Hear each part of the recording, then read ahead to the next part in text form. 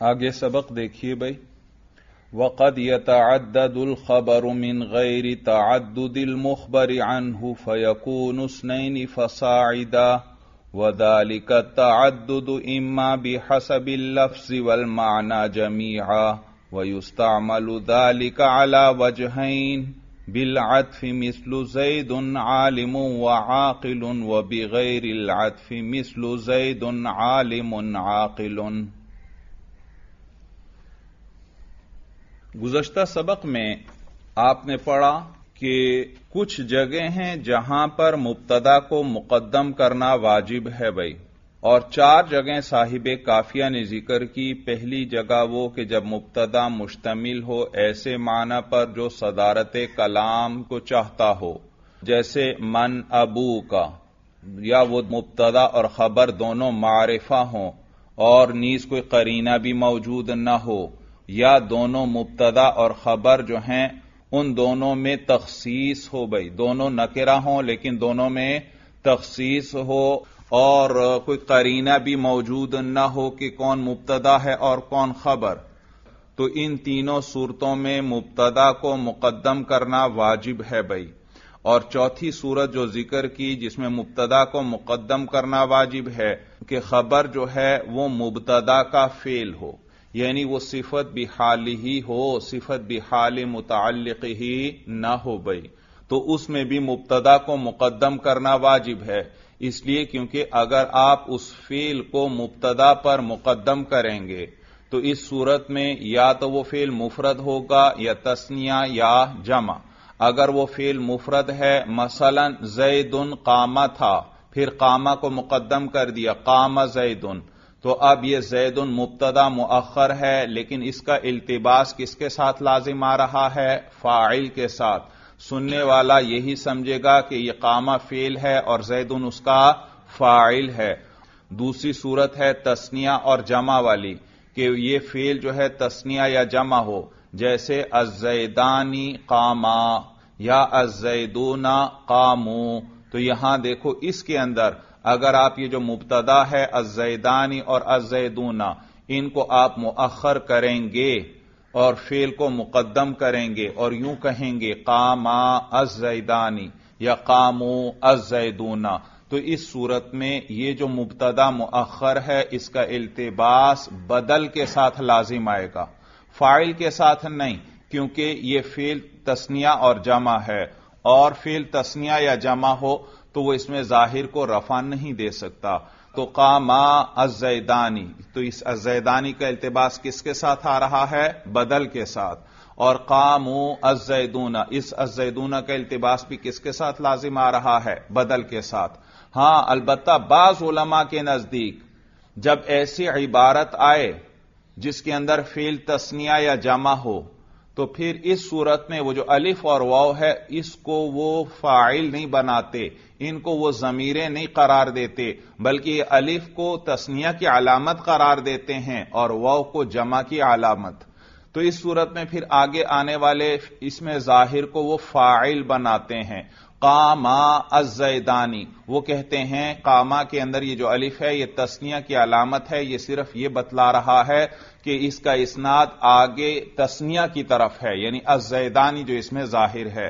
और कामू अजैदूना वो उलमा फरमाते हैं कि ये जो कामू के अंदर वो है, ये सिर्फ़ जमा की अलामत है, ये सिर्फ़ ये बतला रहा है कि आगे वो इसमें ज़ाहिर, जो इसका फ़ाइल बन रहा है, वो जमा है भाई।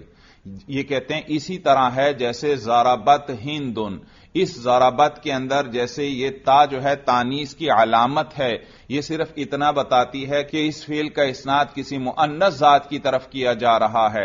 तो जैसे जराबत के अंदर ता सिर्फ़ तानीस की अलामत है, फ़ाइल नहीं। इसी तरह वो कहते हैं ये कामा अजैदानी और कामू अजैदूना इसके अंदर अलिफ और वॉब ये भी सिर्फ़ तस्निया और जमा की अलामतें हैं भाई। तो इन ओलमा के नज़दीक ये अजैदानी और अजैदूना ये फ़ाइल बन सकते हैं। तो इस सूरत में फिर यह मुबतदा का इल्तबास फ़ाइल के साथ लाजिम आता है उन उलमा के नज़दीक। बात समझ में आ गई? उसके बाद साहिब काफिया ने कुछ वो जगह ज़िक्र की थी जहाँ पर खबर को मुकदम करना वाजिब है। और उन्होंने आपको बतलाया था कि जब खबर मुफरद मुतजमिन हो, ऐसे माना को जिसके लिए सदारत कलाम वाजिब हो तो उस वक़्त खबर को मुकदम करना वाजिब है। जैसे अना जैदुन, ये अना क्या है? ये खबर है और यह मुतजमिन है, इस्तेफाम के माना को, लिहाजा इसको मुकदम करना वाजिब है, भाई, वाजिब है। या दूसरी सूरत यह है कि खबर जो है खबर को मुकदम किया जाएगा तो फिर वो मुबतदा के मुबतदा वाक़ होने को सही कर देगी। जैसे फिदारी रजुलन तो इसके अंदर यह रजुलन नकेरा है, इसका मुबतदा बनना सही नहीं, जब तक इसके अंदर तखसीस ना आ जाए। तो इसके अंदर तखसीस जो है, वो तकदीम खबर की वजह से आई, लिहाजा यहाँ खबर को मुकदम करना वाजिब है, फिर ही इस मुबतदा का मुबतदा बनना सही होगा। या तीसरी सूरत यह है कि वो जो मुबतदा है, उसके अंदर खबर के मुतालिक की कोई जमीर हो। और खबर का वो मुतालिक ऐसा है कि उसको खबर पर मुकदम करना मुमकिन नहीं। तो मुबतदा के अंदर खबर के मुतालिक की जमीर है तो इस सूरत में फिर पूरी खबर को मुकदम करना वाजिब है, वरना तो इसमार कबल ज़िक्र लाजिम आएगा लफजन और रुतबतन। जैसे अलत तमरती मिसलुहा जुबदन। अलत तमरा, यह है खबर, और मिसलुहा, यह है मुबतदा। इसके अंदर देखो हा जमीर तमरा को राजे है तो लिहाजा अब खबर को मुकदम करना वाजिब है भाई। और चौथी सूरत यह कि वो जो खबर है, वो अन्ना से खबर वाक़ हो। जैसे ईंदी अन्ना का काइमुन तो यहाँ ईंदी खबर मुकदम है, और अन्ना का काइमुन ये अन्ना क्या करता है? पूरे जुमले को मुफरत यानी मसदर की तावील में कर देता है। तो ये जो अन्ना हरफ मुशबा बिलफेल है यही अन्ना मस्तरिया भी है। ये पूरे जुमला इसमिया को मस्तर बना देता है। याद रखो, हरूफ मस्दर तीन हैं। अन, मा और अन्ना। अन और माँ ये फेल पर दाखिल होते हैं और उस फेल को यानी जुमला फेलिया को मस्तर के माना में कर देते हैं। जबकि अन्ना जो है यह हरफ मुशबा बिल फेल है। और आपने पढ़ा है कि जो हरूफ मुशबा बिल फेल हैं, ये मुबतदा खबर पर दाखिल होते हैं। तो यूँ कहो, ये अन्ना जो है, जुमला इसमिया पर दाखिल होता है और ये उस जुमला इसमिया को मस्तर बना देता है। तो अन और माँ जुमला फेलिया को मस्तर बनाते हैं और अन्ना जुमला इसमिया को मस्तर बना देता है। तो ईंदी अन्ना का काइमुन। तो ये ईंदी खबर मुकदम है। किससे? अन्ना का काइमुन से। और अन्ना का काइमुन, ये किस माना में है? क़ियामु का ईंदी क़ियामु का तो लिहाजा अब इस ईंदी को मुकदम करना वाजिब है, क्योंकि यह अन्ना से खबर है। अगर इस ईंदी को मौखर कर दिया जाएगा तो अन्ना का इल्तिबास लाजिम आएगा इन्ना के साथ। क्योंकि अन्ना का कायमुन, ये कलाम के शुरू में आ जाएगा और कलाम के शुरू में तो इन्ना आता है तो सुनने वाला, पढ़ने वाला समझेगा कि शायद ये इन्ना है भाई। तो इन तमाम सूरतों में खबर को मुकदम करना वाजिब है। अब आइए आज के सबक पर। कहते हैं, वक़द यतअद्दुल खबर मिन गैर तअद्दुदिल मुखबर अनहु फयकून उसनैनी फसाइदा। आगे साहिब काफिया फरमा रहे हैं कि कभी कभार खबर में भी तद्दुद आता है, यानी एक ही मुबतदा की कई खबरें आती हैं। एक मुबतदा की कई खबरें आती हैं। मसलन आप कहते हैं, जैदुन आलिमुन शाइरुन कातिबुन। तो जैदुन मुबतदा एक ही है और आगे कई खबरें आ गईं। जैदुन आलिमुन कातिबुन शाइरुन। तो देखो, तीन खबरें आगे आ गईं। तो कहते हैं, वक़द यतअद्दुल खबर मिन गैर तअद्दुदिल मुखबर अनहु, और कभी कभार खबरों में तअद्दुद होता है, यानी खबरें मुतअद्दिद होती हैं, मिन गैर तअद्दुदिल मुखबर अनहु मुखबर अनहु के तअद्दुद के बगैर। मुखबर अनहु, जिसके बारे में खबर दी जा रही है, यानी मुबतदा मुबतदा। मुबतदा में तअद्दुद के बगैर ही खबर में तअद्दुद आता है। भाई, याद रखो मुबतदा में तद्दुद होगा तो फिर तो खबर में भी तद्दुद आएगा भाई। मुबतदा में तद्दुद होगा तो खबर के अंदर भी तद्दुद आएगा। मसलन, हुमा आलिमु व जाहिलुन। हुमा, वो दोनों, आलिमु व जाहिलुन। आलिम और जाहिल हैं। तो देखो, मुबतदा में तद्दुद है, मुखबर अनहु में तद्दुद है। हुमा, दो दो की बात की जा रही है, एक की बात नहीं की जा रही। और दोनों में से हर एक की अलग अलग बात की जा रही है। आलिम व जाहिल आलिम और जाहिल होने का हुक्म हर एक पर नहीं लगाया जा रहा, क्योंकि एक ही शख्स आलिम भी हो और जाहिल भी हो यह नहीं हो सकता। या वो आलिम होगा या जाहिल होगा। तो ये जो आलिम और जाहिल होने का हुक्म है, यानी जो खबर में तादुद आ रहा है, ये किसके एतबार से है? कि मुखबर अनहू में तादुद है, वो भी दो अफराद हैं। तो एक के बारे में क्या बतलाया? कि अहदुमा अहदुमा आलिमुन व अहदुमा जाहिल तो देखा यहाँ मुखबर अनहू यानी जिसके बारे में खबर दी जा रही है, उसके अंदर तादुद है भाई। जब उसके अंदर तादुद है तो खबर में भी तादुद आया भाई। लेकिन यहाँ उस मुखबर अनहू की बात नहीं की जा रही कि जिसके अंदर तादुद हो। क्योंकि मुखबर अनहू में तादुद होगा तो खबर में भी क्या होगा? तादुद होगा। बल्कि यहाँ उस मुखबर अनहू, यानी उस मुबतदा की बात की जा रही है, जिसमें तादुद ना हो, जो खुद तो एक है, लेकिन उसकी खबरें कई आ रही हैं आगे। बात समझ में आ गई। तो कहते हैं, वक़द यतअद्ददुल खबर मिन गैर तअद्दुदिल मुखबर अनहु, और कभी कभार खबर में तअद्दुद होता है, मिन गैर तअद्दुदिल मुखबर अनहु मुखबर अनहु में तअद्दुद के बगैर ही फयकून उसनैन फसाइदन तो वो खबर जो है दो होंगी, फसाइदन या दो से ज़्यादा होंगी। दो या दो से ज़्यादा खबरें होंगी। भाई तादुद के लिए कम से कम दो तो ज़रूर चाहिए तो दो भी हो सकती हैं। तीन, चार, पाँच, जितनी भी बनाना चाहें बना सकते हैं। भाई, देखिए, यहाँ पर आया, मिन गैरी तादुदिल मुखबर अनहु। साहिब जामी ने यह नहीं फरमाया, मिन गैरी तादुदिल मुबतदाई। मुबतदा में तादुद के बगैर, बल्कि क्या फरमाया? मिन गैर तादुदिल मुखबर अनहु, मुबतदा कह लें या मुखबर अनहु कह लें, एक ही बात है। तो साहिब जामी ने यह मुखबर अनहु फिर क्यों ज़िक्र किया? मुबतदा को क्यों नहीं ज़िक्र किया? तो वजह यह कि लफ्ज खबर की रियायत की। कि खबर है तो जिसके बारे में खबर है, वो क्या हुआ? मुखबर अनहु। तो इसलिए मुखबर अनहु का लफ्ज इस्तेमाल किया। और नीज तफन्नुन के लिए, किसके लिए? तफन्नुन मैंने आपको गुजश्ता सबक में बतलाया था कि तफन्नुन किसे कहते हैं? एक ही बात को, एक ही चीज़ को मुख्तलिफ़ इबारतों से अदा करना ताकि कलाम खुशगवार मालूम हो, कलाम में लज्जत महसूस हो। तो एक ही चीज़ को मुख्तलिफ़ अंदाज में ज़िक्र करना यह तफन्नुन कहलाता है। दो जगह ज़िक्र आया एक चीज़ का, एक जगह मसल मुबतदा का, दो जगह ज़िक्र आया। एक जगह लफ्ज मुबतदा बोल दें, दूसरी जगह मुखबर अनहू बोल दें। देखो कलाम में हलावत आ गई, भाई, लज्जत आ गई, एक नया लफ्ज आ गया, भाई। तो एक चीज़ को मुख्तलिफ़ इबारतों से अदा करना यह तफन्नुन कहलाता है। आगे देखिए, कहते हैं वजाल का तदुद इम्मा बिहसबिल लफ्ज वल माना जमीहा। इधर देखिए, आगे आपको बतलाएँगे कि ये जो तदुद है खबर के अंदर, कभी लफ्ज और माना दोनों एतबार से होगा, कभी सिर्फ़ लफ्जों के एतबार से तदुद होगा, माना के एतबार से तदुद नहीं। मसलन मैं आपसे कहता हूँ जैद उन ताजिर उन ताजिरुन शायरुन तो देखो, ताजिर का माना और शायर का माना और। लफ्ज भी दो हैं, ताजिर का लफ्ज अलग शायर का लफ्ज अलग, और माना भी दोनों का अलग अलग है। तो देखो, यहाँ खबर में तादुद है, लफ्जन भी और, मानन भी। लफ्जों के एतबार से भी तादुद और माना के एतबार से भी तादुद और बाज अवत ऐसा होता है कि लफ्जों के एतबार से तो तादुद होता है, लेकिन माना के एतबार से तादुद नहीं होता। मसलन मैं आपसे कहता हूँ, हाजा हुलवन हामिजुन। ये किताब में मिसाल आएगी आगे भाई। हाजा हुलवन हामिजुन। हामिज जवाद के साथ है भाई। हुलवन का माना मीठा, हामिज का माना खट्टा।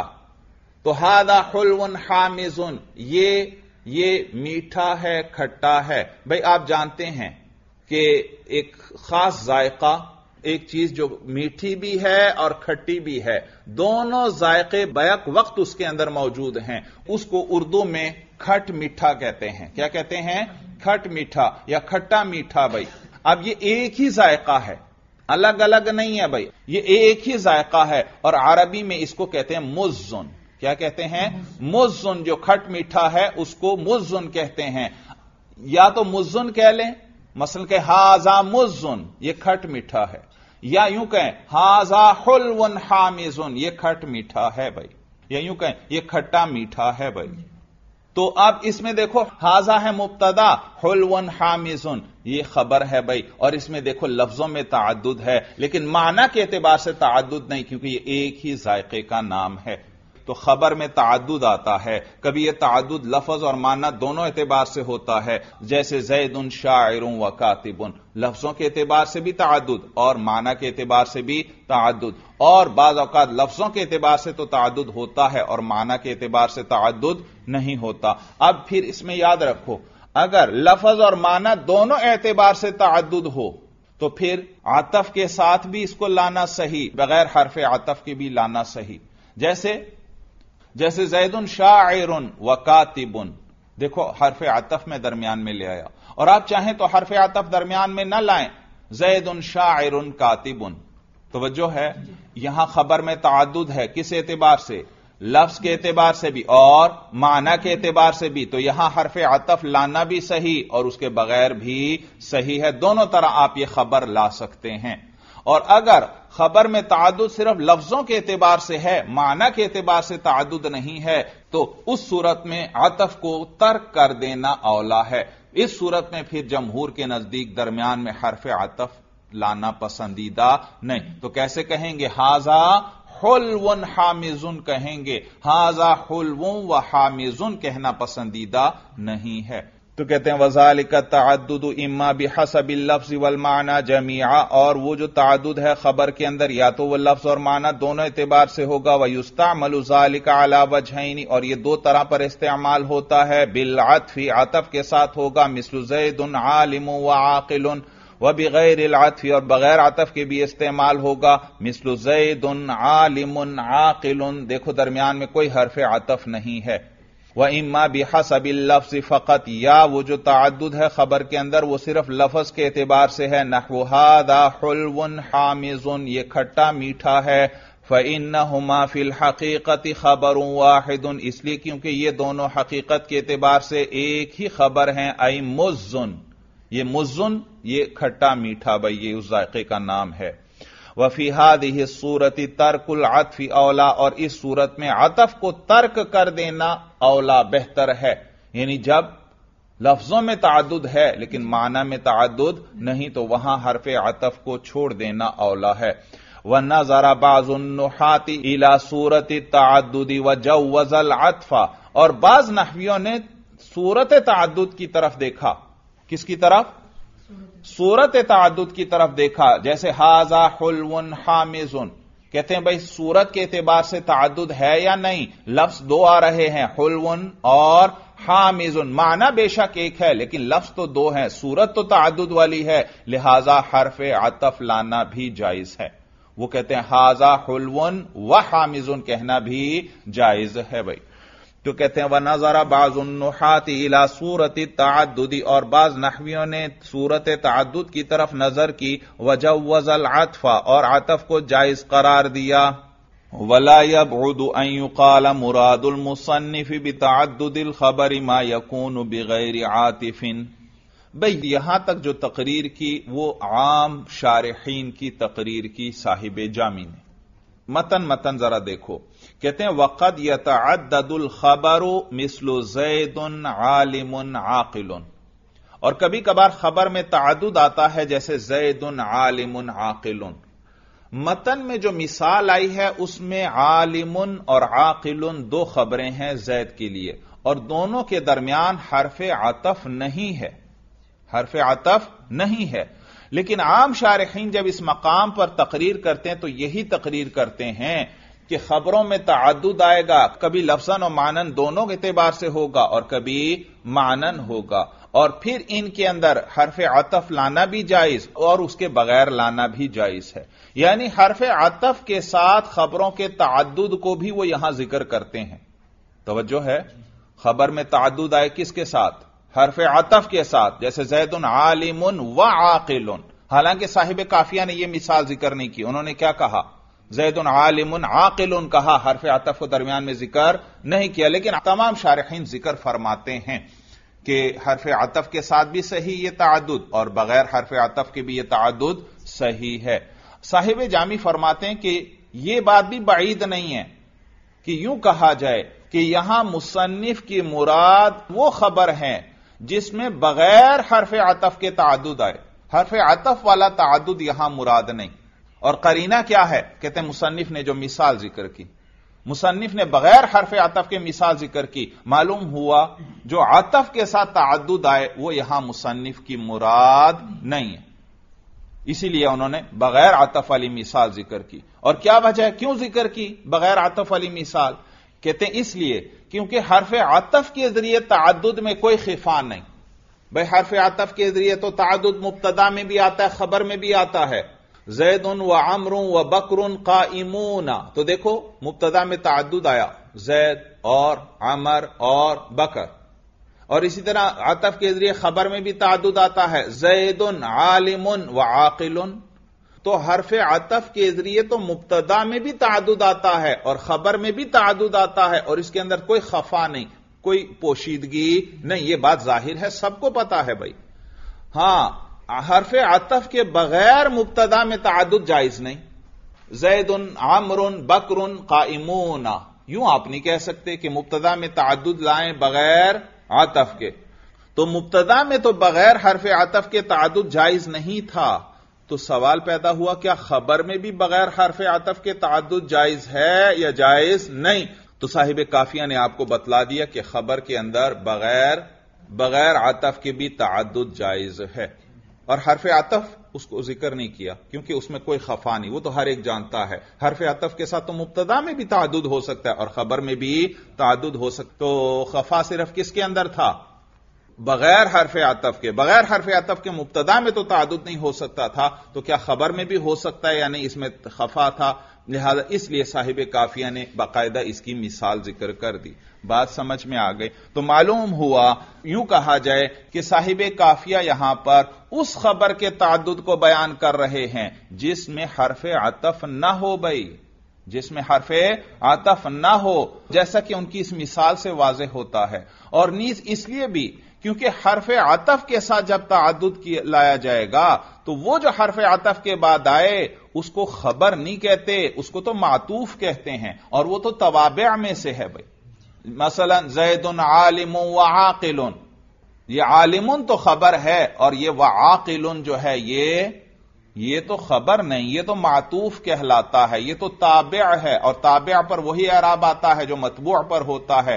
ये मातूफ है, और मातूफ पर मातूफन आलिया वाला एराब ही आता है। तो कहते हैं, वला अब वलायब काला और यह बात भी बाईद नहीं है कि यूँ कहा जाए कि मुरादुल मुसन्निफी भी तद्दुदिल खबरी मायकून बगैर आतिफिन, के मुसन्फ़ की मुराद जो है तद्दुद खबर से वो खबर है जो बगैर हरफ आतफ के हो लियन तद्दुद बिल आतिफी ला खफा अभी ही इसलिए क्योंकि वो तद्दुद जो आतिफ यानी हरफ आतफ की वजह से आए, ला खफा अभी ही उसमें तो कोई खफा नहीं लाफिल खबरी व लाफिल मुबतदई, ना तो खबर में और ना ही मुबतदा में, यानी खबर में भी उसमें आतफ के ज़रिए तादुद आता है, मुबतदा में भी आता है वल्लाफी गैर ही माँ और इनके अलावा के अंदर भी कोई खफा नहीं है भाई।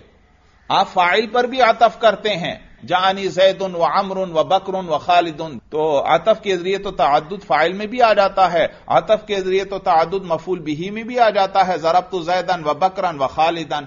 तो आतफ के ज़रिए तादुद में चूँकि कोई खफा नहीं था, लिहाजा उसको ज़िक्र नहीं किया। तो कहते हैं लिअन तद्दुद अबिल आतिफी ला खफा अभी इसलिए क्योंकि हरफ आतफ के ज़रिए तद्दुद में कोई खफा नहीं है लाफिल खबर, ना तो खबर में, वला फिल मुबतदा और ना मुबतदा में, वला फ़ी गैर हिमा और ना इन दोनों के अलावा में व ऐजानिल मुतद बिल आतफी लई सभी खबर इन बल हुआ मिन तवाब और नीज वो जो मुतद बिल आतफ है जिसमें तादुद आया आतफ की वजह से लई सभी खबर इन वो तो हकीकत में खबर नहीं है बल हुआ मिन तवाब ही बल्कि वो तो खबर के तवाब में से है व लिहाजा और अदा और इसी वजह से मुसन्फ लेकर आए फिल मिसाली, मिसाल के अंदर अलखबर अल मुतद बगैर आतिफिन, वो खबर जिसके अंदर तदद है बगैर आतिफ के। तो कहते हैं यह बात भी बाइद नहीं है कि यूँ कहें कि यहाँ जो तादुद साहिब काफिया बयान कर रहे हैं, वो कौन सा तादुद है? जो बगैर आतिफ के हो भाई, बगैर आतिफ के। और अगर यह तस्लीम कर लिया जाए कि नहीं, वो दोनों को बयान करना चाहते हैं तो फिर सवाल पैदा होता है कि फिर वो बगैर आतिफ की मिसाल तो लाए हैं। आतिफ वाली मिसाल क्यों नहीं लाए? आतिफ अली मिसाल क्यों नहीं लाए? तो उसका फिर यह जवाब दिया जा सकता है कि मुसन्निफ की मुराद तो दोनों हैं, लेकिन आतिफ के साथ खबर के तादुद में कोई खफा नहीं था, लिहाजा उसकी मिसाल नहीं दी। और बगैर आतिफ के खबर के तादुद में खफा था, लिहाजा इसलिए उसकी मिसाल बाकायदा ज़िक्र कर दी। कहते हैं वलाउ जो तद्दुद आमा और अगर तद्दुद को आम करार दिया जाए कि चाहे आतफ के साथ हो, चाहे बगैर आतफ के, दोनों यहाँ ज़िक्र कर रहे हैं। तो फल इख्तसार अलहली का तो इस मिसाल पर जो इक्तफा किया, वो इस वजह से किया, यानी तर्क आतिफ अली मिसाल पर इक्तफा किया, इस वजह से क्योंकि इसके अंदर खफा था, बाकियों में खफा नहीं है। वक़द यतज़म्मनुलमुब्तदा उमान शर्त वहुव सबबियतुलअव्वलिलसानी औलिलहुक्म बिही फला यरिदु अलैहि नहव वमा बिकुम मिन निअमतिन फमिनल्लाहि फयुशबिहुल मुब्तदा शर्त फ़ी सबबियतिही लिल खबरी का सबबियति शर्त लिल जजा भाई आगे साहिब काफिया आपको बतलाएँगे कि कभी कभार मुब्तदा भी शर्त के माना को मुतजमिन होता है। मुबतदा के अंदर भी शर्त वाला माना आ जाता है। लिहाजा ऐसे मुबतदा की खबर पर फा का लाना जायज़ है। क्योंकि आप जानते हैं भाई, शर्त की जजा पर उमूमन क्या दाखिल की जाती है? फा फा दाखिल की जाती है।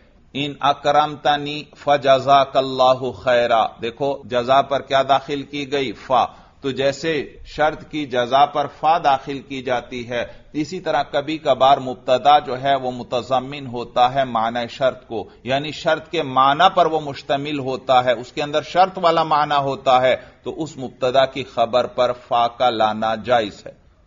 फा का लाना जायज़ है। यानी आप लाना चाहें तो ले आए और न, और नहीं लाना चाहते तो ना लाएँ। भाई भाई देखिए पहले मतन मतन तो कहते हैं, वक़द यतजमनुलमुबतदा उमान शर्ती और कभी कभार मुबतदा जो है, शर्त के माना को मुतजमिन होता है।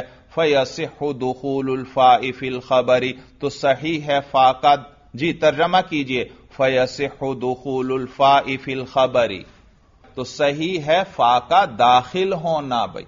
फाका दाखिल करना नहीं, बल्कि दुखूल उल्फा इफा का दाखिल फयसुलफ़ा फिल खबरी तो सही है फा का दाखिल होना फिल खबरी उस खबर में वजालिकल इसमुल मौसूल बिफ़िन औ ज़रफ़िन अविन किरतुल मौसूफत बिहिमा भाई वो कौन सा मुबतदा है वो बतला रहे हैं कहते हैं वजालिकल इसमुल मौसूल और वो मुबतदा है जो इसमें मौसूल हो बिफ़िन औ ज़रफ़िन फेल या ज़र्फ के साथ भाई, आप जानते हैं कि इसमें मौसूल जो है, उसके लिए हमेशा सिला चाहिए।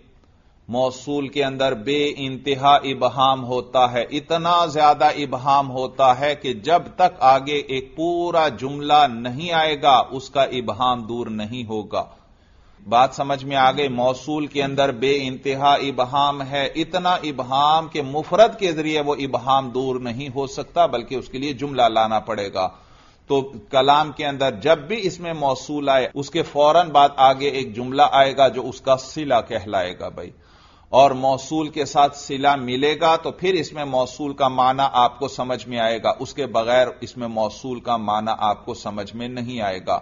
जैसे मसलन मैं आपसे कहता हूँ, अल्लाजी, बल्कि पहले दूसरी मिसाल लें। मैंने कहा, जैद, फ़ौरन आपके जहन में जैद का तस्वूर आ गया। क्योंकि जैद मारिफा है, आपके एक साथी का नाम जैद है।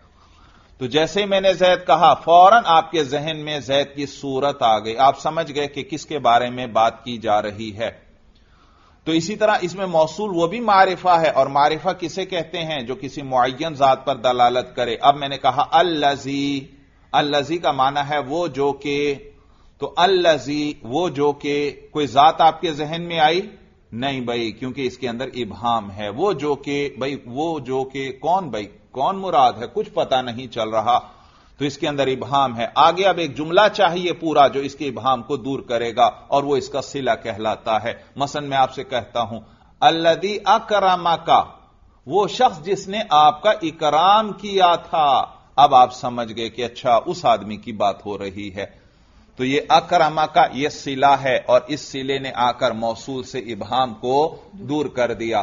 तो इसमें मौसूल को आप जुमले के अंदर चाहे मुबतदा बनाना चाहें, चाहे खबर, चाहे फ़ाइल, चाहे मफूल, चाहे सिफत, चाहे मौसू जो भी बनाना चाहते हैं, पहले सिले को इसके साथ जोड़ना पड़ेगा। बगैर सिले के इसमें मौसूल न मुबतदा बन सकता है, न खबर, न फ़ाइल, न मफूल, कुछ भी नहीं बन सकता, क्योंकि इसका माना ही नहीं समझ में आएगा। तो इसमें मौसूल जब भी आए, आपने फ़ौरन इसके सिले को इसके साथ जोड़ना है। और सिला हमेशा क्या होगा? जुमला होगा। और जुमले को जब भी किसी चीज़ से जोड़ना हो, दरमियान में रबत ज़रूरी है तो उस सिले के अंदर भी एक जमीर गायब की चाहिए जो किसकी तरफ़ लौटे? उस इसमें मौसूल की तरफ़ लौटे भाई।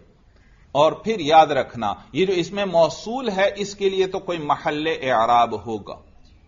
इसमें मौसूल अगर मुबतदा है तो वह महलन मरफू होगा। अगर वो खबर है तो खबर भी मरफू होती है तो इसमें मौसूल भी मरफू होगा। और अगर इसमें मौसूल मफूल बन रहा है तो वह मंसूब होगा। तो इसमें मौसूल के लिए कोई ना कोई एराब आएगा, कोई महल एराब होगा उसके लिए। लेकिन ये जो सिला है आगे, इसके लिए कोई महल एराब नहीं। ला महल लहू मिनल एराब। उसके लिए कोई महल एराब नहीं। आप कहेंगे, भाई, मौसूल पर जो एराब है, वही एराब सिले का भी होना चाहिए। नहीं भाई, ये कोई आपस में मौसूफ सिफत नहीं है। मौसूफ सिफत का एराब एक होता है, सिफत पर वही अराब आता है जो मौसूफ पर आता है। लेकिन यहाँ मौसूल का सिला है यह उसकी सिफत नहीं है कि इस पर भी वही एराब आ जाए। तो सिला जो है, उसके लिए ला महल लहू मिनल ए आराब कहेंगे भाई। तो वो मुबतदा जो मुतजामिन हो शर्त के माना को कहते हैं वजालिकल इसमुल मौसूल बिफेलिन औ जरफिन। वो इसमें मौसूल है जो फेल या जर्फ के साथ आए। किसके साथ आए? फेल। यानी ऐसा इसमें मौसूल जिसका सिला फेल आए। और फेल अपने फ़ाइल या नाई फ़ाइल से मिलकर क्या बनता है? जुमला। मालूम हुआ वो इसमें मौसूल जिसका सिला जुमला फेलिया हो। और इसी तरह बिफेलिन और जरफिन, वो इसमें मौसूल जो जर्फ के साथ आए। जर्फ आप जानते हैं, एक जर्फ हकीकी है, जिसमें जमाने और जगह वाला माना हो, और वो मफूल फ़ी बनता है, और और उसके लिए भी सबता या साबितुन निकालते हैं, अगर कलाम के अंदर ना हो। क्योंकि मफूल फ़ी है और मफूल फ़ी मंसूब होता है तो इसके लिए आमिल चाहिए। किसने इसको नसब दिया? ये किसके लिए मफूल फ़ी है? और इसी तरह एक जार मजरूर है, और जार मजरूर को मजाजन जार्फ कहते हैं, और जार मजरूर के लिए मुतालक चाहिए भाई। तो जार मजरूर के लिए मुतालक चाहिए। तो ये जिससे जुड़ते हैं, वो इनका मुतालक कहलाता है। वो अगरचे इनके अंदर आमिल है। इसमें आमिल है, लेकिन उसके लिए मुतालक का लफ्ज बोलते हैं। वजह यह कि मैंने बताया था कि जब कोई फेल किसी लफ्ज में बराह रास्त अमल न कर सके तो किसका सहारा लिया जाता है? हरफे जर का। हरफे जर का सहारा लिया जाता है। तो यह फेल अब उस मजरूर में अमल कर रहा है, लेकिन बराह रास्त नहीं, बल्कि किसके वास्ते से? हरफे जर के वास्ते से उसमें अमल कर रहा है। तो हरफे जर के साथ ये जो मजरूर है ये मुतल कहलाएँगे, क्योंकि दरमियान में हर्फ आ रहा है। फेल उसके अंदर बराह रास्त अमल नहीं कर रहा तो इसलिए यहाँ मुतल का लफ्ज बोलते हैं भाई। तो वो इसमें मौसूल जो जर्फ के साथ हो, यानी जिसका सिला जर्फ आए, चाहे जर्फ हकीकी हो, चाहे जर्फ मजाजी हो। अल्लजीफिदार तरकीब कैसे होगी? अल्लजी इसमें मौसूल, फ़ी जारा अदारी मजरूर। जार मजरूर मिलकर मुतालिक किससे? ये जर्फ आ गया मौसूल का सिला। किससे मुतालिक? बाकी जगह पर सबता और साबितुन दोनों निकाल सकते हैं। भाई, पीछे खबर की बात आई थी कि वो खबर जो जर्फ हो तो साहिब काफिया ने क्या फरमाया था? उसकी तावील जुमला के साथ की जाएगी, यानी वहाँ फेल मुकद्दर निकालेंगे। तवज्जो है तो ये बसरा वालों का मज़हब है, जबकि कूफा वाले इख्तिलाफ करते हैं, वो फरमाते हैं, सिफत का सीगा, यानी इसमें फ़ाइल या इसमें मफूल यहाँ मुकद्दर निकालेंगे, क्योंकि खबर के अंदर असल यह है कि वह मुफरद होनी चाहिए। जब खबर जर्फ वाक़ हो, उसके अंदर तो उलमा का इख्तिलाफ है। बास क्या फरमाते हैं कि इसकी तावील जुमला के साथ की जाएगी बास कहते हैं इसकी तावील मुफरद के साथ की जाएगी, लेकिन वो जर्फ जो सिला बने उसमें बिल इत्तेफाक उसकी तावील जुमला के साथ की जाएगी, यानी वहाँ फेल निकालेंगे। क्यों फेल निकालेंगे? क्योंकि फेल अपने फ़ाइल और मुतालिक से मिलकर जुमला फेलिया बनेगा। और अगर आप सिफत का सीगा निकालेंगे तो फिर तो वह मुफरद बनेगा भाई। और हालाँकि मौसूद का सिला मुफरद नहीं होता, बल्कि वो जुमला होता है। और जुमला किस सूरत में है कि उस जर्फ की तावील किसके साथ की जाए? फेल के साथ। बात समझ में आ गई। तो कहते हैं, वो मुबतदा, जो मुतजमिन हो, शर्त के माना को, अलिस्मुल मौसूल बी फ़ेलिन और ज़रफिन, वो इसमें मौसूल है, जो फेल या ज़र्फ के साथ हो। अभी नकिरतुल मौसूफत माँ या वो नकिरा जो इन दोनों के साथ मौसूफ हो, यानी इन दोनों में से एक के साथ मौसूफ हो। भाई, मैंने आपको बतलाया था नकिरा के बाद फेल आ जाए तो वो अमूमन उसके लिए क्या बनता है? सिफत। इसी तरह मैंने आपको बतलाया था कि नकिरा के बाद जार मजरूर आ जाए और वो किसी से न जुड़ रहा हो तो वो भी अमूमन उस नकिरा के लिए सिफत बनेगा। लिहाजा वो नकेरा जो फेल के साथ मौसूफ हो रहा है या वो नकेरा जो जर्फ के साथ मौसूफ हो रहा है और मुबतदा है तो इसके अंदर भी शर्त वाला माना आ गया। लिहाजा इसकी खबर पर भी फाका दाखिल करना जायज़ है। ये कुछ मिसालें अपने सामने लिखें ताकि उनको हम हल कर लें, और बात खूब वाज हो जाए भाई। लिखिए भाई, अल्लजी या अतीनी अल्लजी या अतीनी फलहू दिरहमुन। अल्लदी यातीनी फलहु दिरहमुन जी तरकीब कीजिए। माना समझ में आ रहा है? क्या माना? अल्लजी यातीनी वो शख्स जो मेरे पास आएगा फलहु दिरहमुन तो उसके लिए एक दिरहम है यानी मैं उसे एक दिरहम दूँगा। अब देखिए अल्लजी यातीनी तरकीब शुरू कीजिए भाई। अल्लजी मरफू महल्लान, इसमें मौसूल। या अति या अति फेल बा फ़ाइल। मैंने बताया था फेल के साथ जब फ़ाइल की जमीर हो, जुड़ी हुई तो फिर उसको कैसे ताबीर करेंगे? फेल बा फ़ाइल। तो याति फेल बा फ़ाइल। अब इसके अंदर फ़ाइल भी बता दें, क्या है? याति के अंदर हुआ जमीर मरफू महल्लन, इसका फ़ाइल। आगे नोन विकाया या जमीर मनसूब महलन मफूल बिही फेल अपने फ़ाइल और मफूल बिही से मिलकर जुमला फेलिया होकर सिला मौसूल के लिए नहीं भाई ये जुमला सिला नहीं बन सकता आपने रबत कोई नहीं बताया जी रबत दीजिए हाँ या तीनी के अंदर जो हुआ जमीर थी वो अल्लाजी को राजे और फिर ये भी गौर कर लिया करो कि जमीर और मर्ज में मुताबकत है या नहीं हुआ जमीर भी मुफरत मुजक्कर और अल्लजी भी मुफरत मुजक्कर है तो जमीर और मर्जे में भी मुताबकत है। तो फेल अपने फ़ाइल और मफूल से मिलकर, जुमला फेलिया होकर सिला, मौसूल सिला मिलकर मुबतदा। और यह मुबतदा देखो, वो इसमें मौसूल है जिसका सिला फेल आ रहा है, और यह मुतजमिन होता है माना शर्त को, लिहाजा इसीलिए इसकी खबर पर फाका लाना जायज़ है। तो ये फा जो दाखिल हो रही है, ये जजा नहीं है।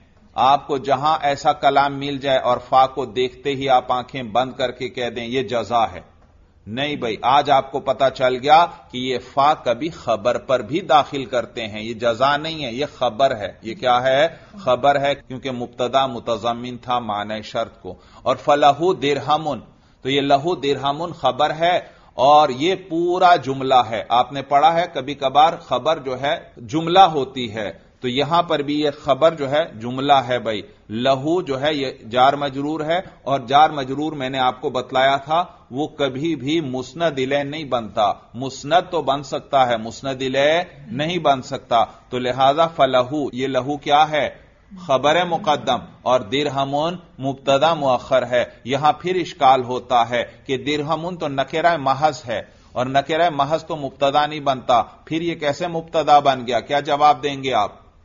फलहू दिरहमुन, ये दिरहमुन तो न किरा है, ये मुबतदा कैसे बन सकता है? जवाब ये कि यहाँ जो मुबतदा मौखर है, इसके अंदर तखसीस आ गई तकदीम खबर की वजह से। लहू क्या है? खबर मुकदम है, और दिरहमुन मुबतदा मौखर तो तकदीम खबर की वजह से वो मुबतदा जो नकेरा है, उसके अंदर तखसीस आ गई, लिहाजा उसका मुबतदा बनना सही है। जी, तरकीब कीजिए, फलहू दिरहमुन।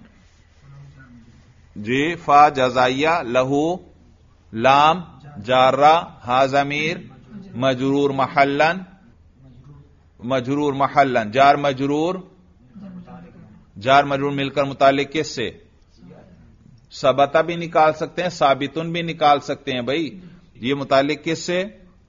सबता फेल से। सबता फेल इसके अंदर हुआ जमीर, मरफू महलन इसका फ़ाइल। फेल अपने फ़ाइल और मुतालिक से मिलकर जुमला फेलिया होकर खबर मुकदम किसके लिए? दिरहम के लिए। नहीं भाई, ये खबर नहीं बन सकती। जब तक रबत नहीं देंगे, ये खबर नहीं बनेगी। जुमला को आप खबर बना रहे हैं। रबत दीजिए। जी, लहू के अंदर जो हा जमीर है, ये किसको राजे दिरहम को। तर्जमा जरा करो। फलहू दिरहमुन। आई लि दिरहमिन दिरहमुन। दिरहम के लिए दिरहम है। देखा, माना सही नहीं और मालूम हुआ लहू की हा जमीर दिरहम को नहीं लौटा सकते, वरना तो क्या माना बन जाएगा? ली दिरहमिन दिरहमुन। दिरहम के लिए दिरहम है भाई। और कोई जमीर है यहाँ पर? हाँ, सबता के अंदर हुआ जमीर थी। सबता लहू, उसके लिए साबित होगा। क्या साबित होगा? दिरहम भाई, ये तो सबता के अंदर हुआ जमीर है और वो लौटा दें दिरहम की तरफ़। और इससे रबत आ गया खबर का मुबतदा मौखर के साथ। तो ये खबर हुई। और मुबतदा अपनी खबर से मिलकर, हाँ, लहू यह खबर है मुकदम हुई और दिरहमुन मुबतदा मौखर तो मुबतदा अपनी खबर से मिलकर जुमला इसमिया होकर यह खबर, जुमला इसमिया होकर यह खबर किसके लिए? अल्लजी यातीनी, वो जो मुबतदा था उसके लिए खबर बन गई। और यह मुबतदा की खबर पूरा जुमला है। और जुमले को जब भी किसी चीज़ से जोड़ना हो, दरमियान में क्या ज़रूरी?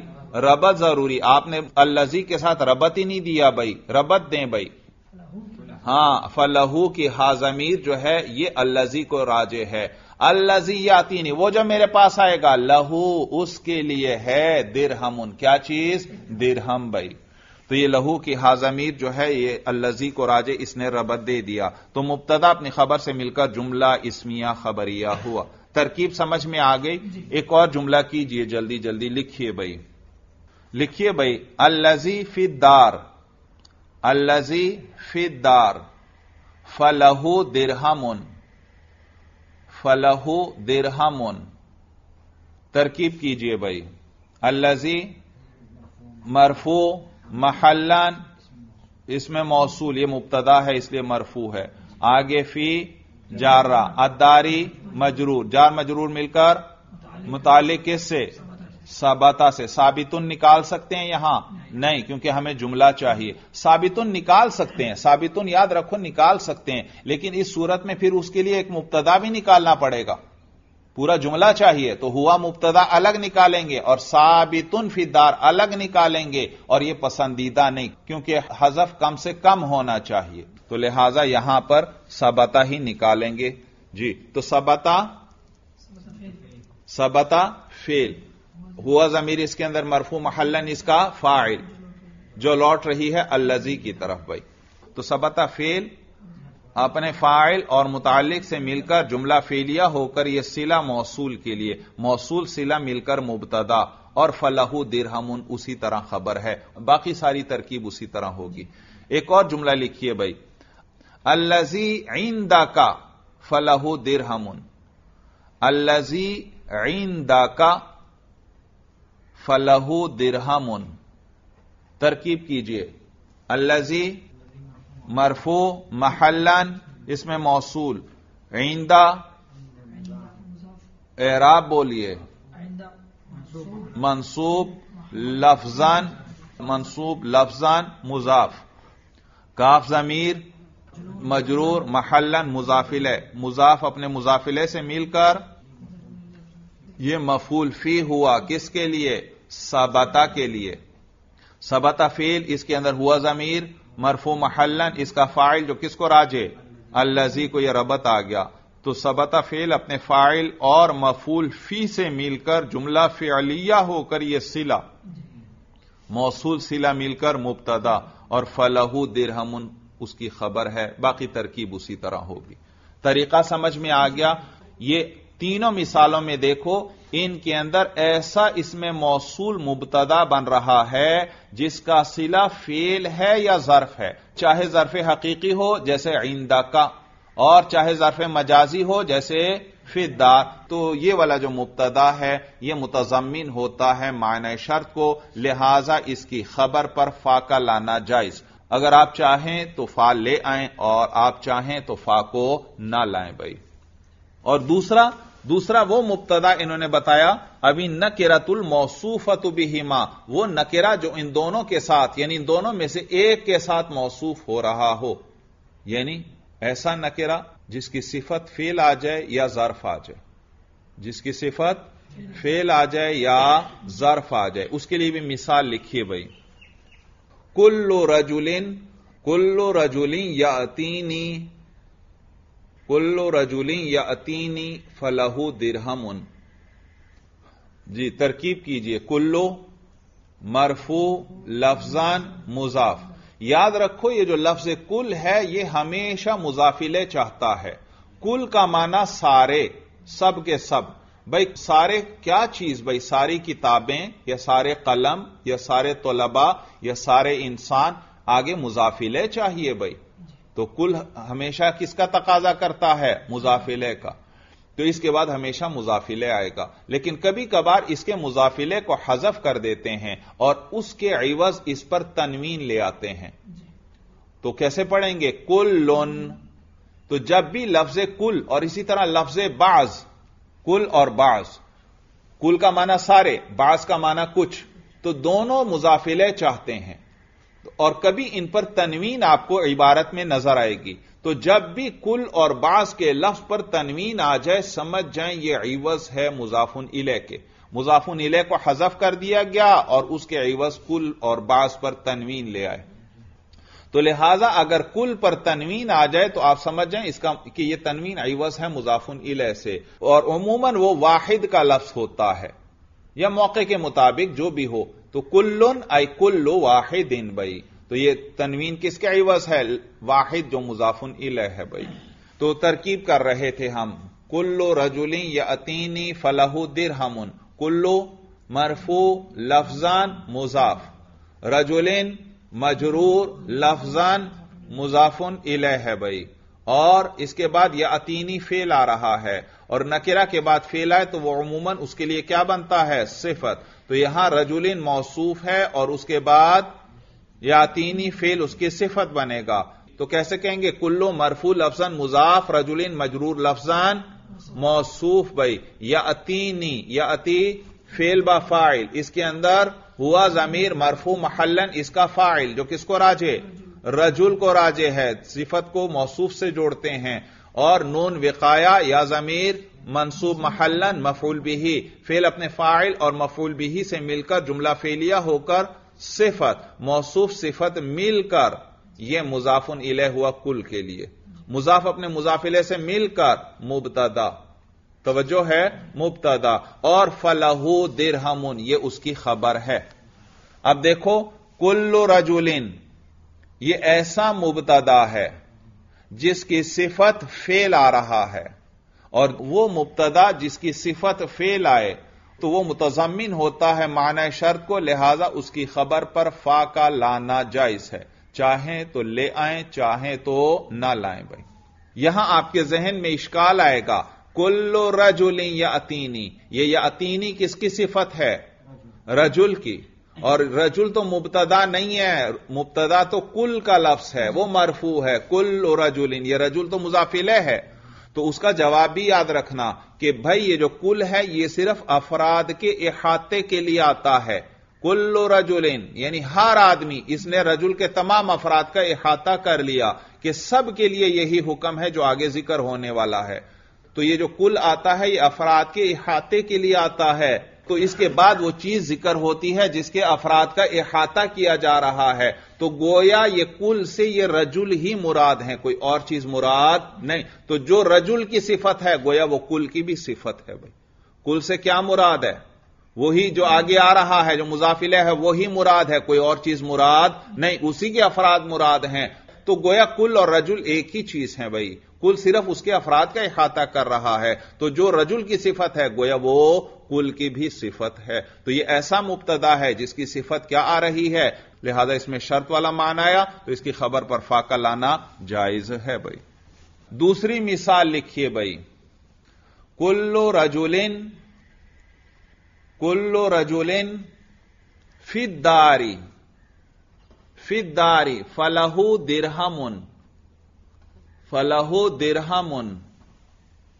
कुल्लो मरफू लफजान मुजाफ, रजुलिन मजरूर लफजान मौसूफ, क्योंकि नकेरा के बाद जार मजरूर आ रहा है तो वो उसके लिए अमूमन सिफत बनता है। फ़ी जारा अदारी मजरूर लफजन। जार मजरूर मिलकर मुतालिक किससे?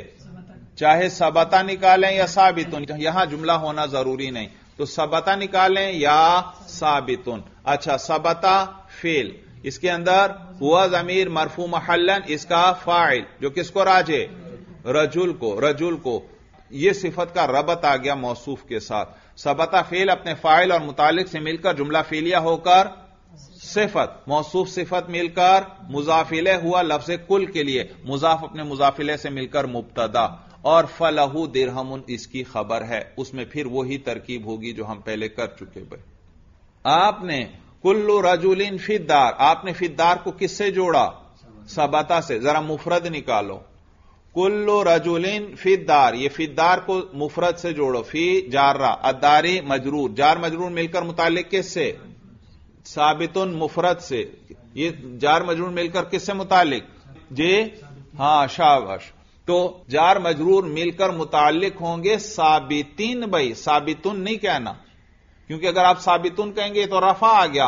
और हालाँकि ये तो सिफत बन रहा है रजुल के लिए, और मौसूस सिफत का इराब एक होता है। रजुल मजरूर है तो लिहाजा जो उसकी सिफत साबित फिदार आएगी, वो भी क्या होगी? मजरूर। तो क्या कहेंगे? फिदार, जार, मजरूर मिलकर मुतालिक है साबितिन सीगा इसमें फ़ाइल से। और साबितिन मजरूर, क्योंकि यह सिफत है। और इसके अंदर हुआ जमीर मरफू महलन इसका फ़ाइल जो किसको राजे? मौसूफ को। और इसमें फ़ाइल, अपने फ़ाइल और मुतालिक से मिलकर शिब जुमला होकर यह सिफत रजुल के लिए, मौसूफ सिफत मिलकर यह मुजाफ इले हुआ कुल के लिए। और कुल मुजाफ अपने मुजाफिले से मिलकर मुबतदा। और आगे फलहू दिरहमुन, उसकी खबर। तरीका समझ में आ गया। तो लिहाजा साबित निकालेंगे तो कैसे पढ़ेंगे? साबितिन। और सबता अगर आपने निकाला है, कुल्लो रजुलिन सबता फिद्दार।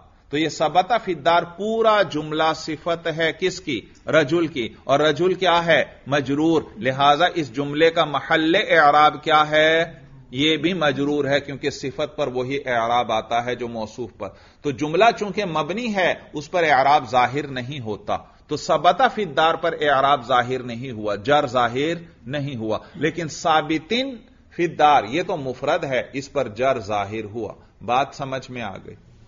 तो कहते हैं वजालिकल इसमुल मौसूल बी फ़ेलिन औ ज़रफिन, और वो इसमें मौसूल है जो फेल या जर्फ के साथ हो। अविन न नकिरतुल मौसूफत बिहिमा, या वो मुबतदा जो है, ऐसा नकेरा हो जो मौसूफ हो रहा हो। बिहिमा फेल या जर्फ के साथ, मिसलू अल्लदी या अतीनी औफिदारी फलहू दिरहमुन। देखो, साहिब काफिया के पास अल्फाज कम होते हैं भाई। उनकी कोशिश होती है, मैं मुख्तसर से मुख्तसर बात करूँ। तो यहाँ वो दो मिसालें देना चाहते थे। एक वो इसमें मौसूल जिसका सिला फेल आए, एक वो इसमें मौसूल जिसका सिला जर्फ आए। चुनाचे क्या फरमाया? अल्लजी या अतीनी अल्लजी या अतीनी ये इसमें मौसूल है और यातीनी इसका सिला है। आगे क्या फरमाया? औफिदारी यहाँ दोबारा अल्लाजीनी फरमाया। कहते हैं, बाकी बात आप खुद समझ जाएँ कि यातीनी की जगह क्या ले आए? फिदार ले आए। और फलहू दिरहमुन, एक ही दफ़ा खबर ले आए कि पहले के लिए खबर आप खुद निकाल लें। तो गोया यह दरअसल दो मिसालों के दर्जे में है। गोया यूँ कहा जा रहा है अल्लजीयातीनी फलहू दिरहमुन। तो अल्लाजी यातीनी के लिए फलहू दिरहमुन खबर हजफ कर दी, क्योंकि आगे दूसरे जुमले की खबर फलहू दिरहमुन आ रही थी, उससे पता चल रहा था। और फिर ये दूसरे जुमले में क्या फरमाया? औफिदारी इससे अल्लाजी को हजफ कर दिया भाई, क्योंकि एक दफ़ा अल्लाजी पहले ज़िक्र कर चुके थे। बात समझ में आ गई। तो अब आपने ये नहीं करना औफिदारी क्या फिदार का आतफ किस पर कर दें? या अतीनी पर, और उसी अल्लाजी को क्या बना दें? मुबतदा बना दें। नहीं नहीं, इस फिदार के लिए अलग अल्लाजी निकालना पड़ेगा, क्योंकि यह अलग मिसाल है भाई। बात समझ में आ गई। और नीस, वो अल्लाजी यातीनी उसके लिए खबर भी अलग निकाल लेंगे भाई। आगे देखिए, वकुल्ल रजुलिन यातीनी औ फिदारी फलहू दिरहमुन। ये भी फिर दो मिसालें हैं। कुल्लू रजुलिन या यातीनी फलहू दिरहमुन, एक मिसाल। और कुल्लू रजुलिन फिदारी फलहो दिरहमुन, ये दूसरी मिसाल भाई। इसके अंदर भी कुछ चीज़ें पहली मिसाल में ज़िक्र कर दी और कुछ चीज़ें दूसरी मिसाल में ज़िक्र कर दी और कुछ को हजफ कर लिया। तो यहाँ देखो, बड़ा कीमती जबता साहिब काफिया ने ज़िक्र फरमाया। कि मुबतदा कभी मुतजमिन होता है माना शर्त को।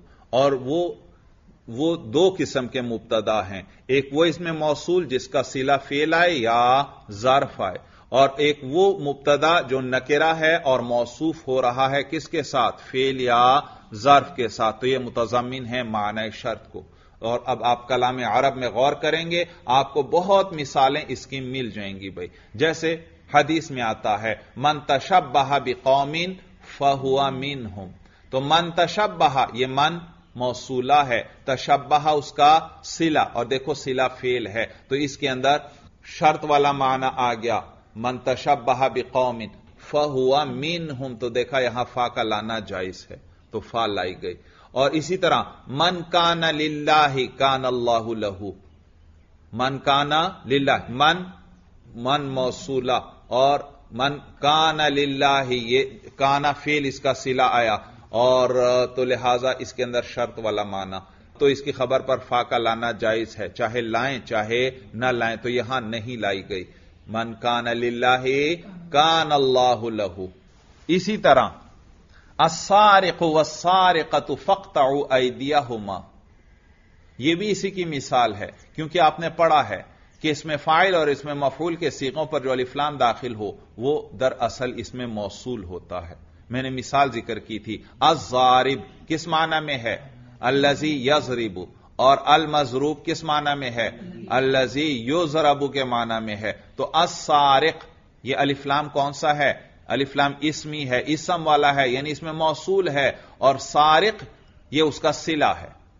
सिला है। तवज्जो है? फिर सुनो असारिक इसमें अलिफ्लाम क्या है? इसमें मौसूल। और सारिक क्या है? इसका सिला है भाई। तो इस पर इश्काल होता है कि मौसूल का सिला तो जुमला होता है। और यहाँ तो अलिफ्लाम का सिला सिर्फ़ लफ्ज सारिक आ रहा है और सारिक तो मुफरद है। तो मैं ज़िक्र कर चुका कि अजारिब किस माना में है? अल्लदी यजरिबो। तो यहाँ पर भी ये असारिक किस माना में है? अल्लजी यसरिको या अल्लजी साराका। फिर इस अल्लाजी को कौन सी सूरत दी गई? अलिफ्लाम वाली। और अलिफ्लाम तो सिर्फ़ मुफरत पर दाखिल होता है, वो तो फेल पर दाखिल नहीं हो सकता। तो फिर इस सूरत में वो जो फेल है, उसको भी मुफरत वाली सूरत दे देते हैं। तो अजारिब दरअसल किस माना में है? अल्लजी या जरीबू के माना में है। तो असारिक किस माना में हुआ? अल्लजी यसरिको, या अल्लजी सारका। तो ये इसमें मौसूल है और इसका सिला फेल आ रहा है और यह मुतजमिन होता है मान शर्त को। लिहाजा इसकी खबर पर फाका लाना जायज़। तो कुरान में अल्लाह क्या फरमाते हैं? असारिको व सारिकतु फ़ाक़ताऊ। देखो फा लाई गई। इसी तरह कुरान में दूसरी जगह है अजानियतु वजानी फजली दो अजानियतु जी अजानियतु किस माना में है? हाँ, मुअन्नस के मुताबिक निकालें। अजानियतु। अल्लती अल्लती जानत। अल्लती जानत। अल्लती जानत, वल्लजी जाना। माजी का सीगा निकालें, मुजारे का मौके के मुताबिक। और फिर एक और कीमती नुकता याद रखें। असारिक वसारिकतु इसके अंदर असारिक मुजक्कर को मुकदम किया गया और असारिका मुअन्नस को मुअखर किया गया। और अजानियत वजानी, इसके अंदर अजानिया मुअन्नस को मुकदम किया गया और अजानी मुजक्कर को मुअखर किया गया। तो इसमें नुकता क्या है? एक में मुजक्कर मुकदम है, एक में मुअन्नस मुकदम है। वजह यह ओलमा फरमाते हैं, और भी बहुत सी वजूहत ज़िक्र की हैं ओलमा ने एक एक वजह में ज़िक्र कर देता हूँ भाई। असारिक वसारिकतो, इसके अंदर असारिक जो मुजक्कर है, उसको मुकदम किया। वजह यह कि चोरी के लिए जुर्रत चाहिए भाई। चोरी के लिए क्या चाहिए? जुर्रत चाहिए और जुर्रत मर्द के अंदर ज़्यादा है, इसलिए असारिक मुजक्कर को क्या कर दिया गया? मुकदम कर दिया गया। और नीज इसलिए कि चोरी की जाती है माल के लिए, और माल की ज़्यादा हाजत मर्द को होती है, क्योंकि उसको अपने लिए भी माल चाहिए, और अपने घर वालों के लिए भी माल चाहिए होता है। माश का जिम्मेदार वो होता है। तो इस वजह से वहाँ चूँकि माल के लिए ज़्यादा तलब मर्द करता है, इसलिए मुजक्कर को मुकदम ज़िक्र किया गया।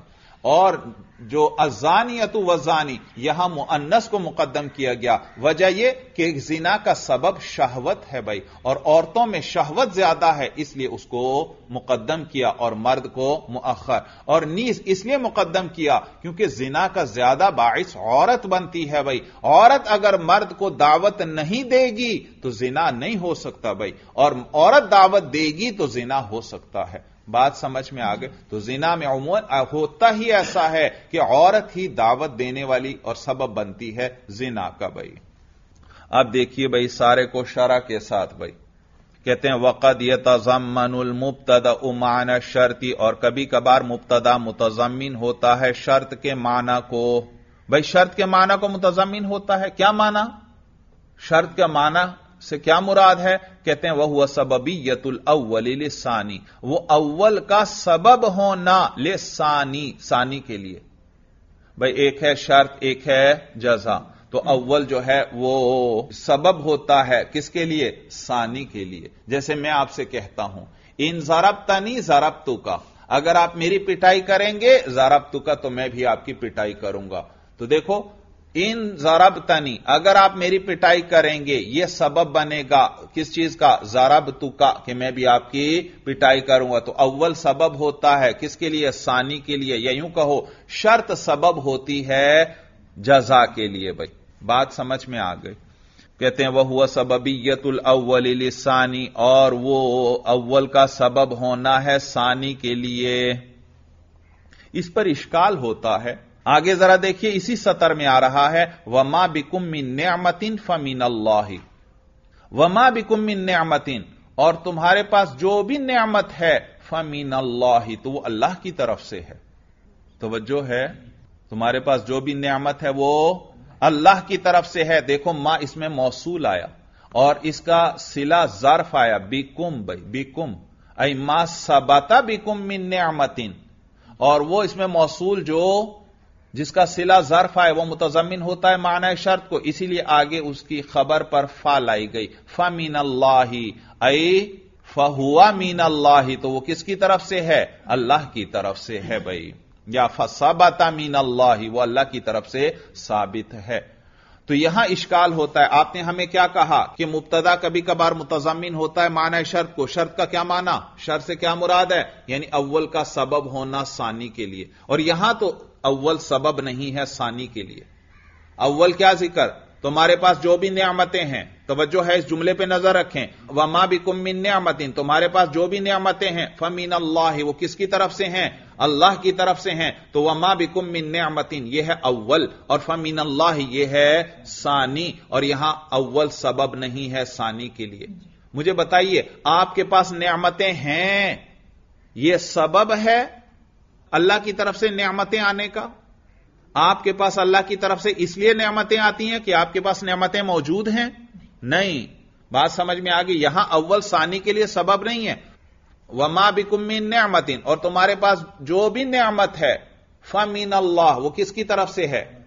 तो अव्वल क्या है? आपके पास नियामतों का होना। और सानी क्या है?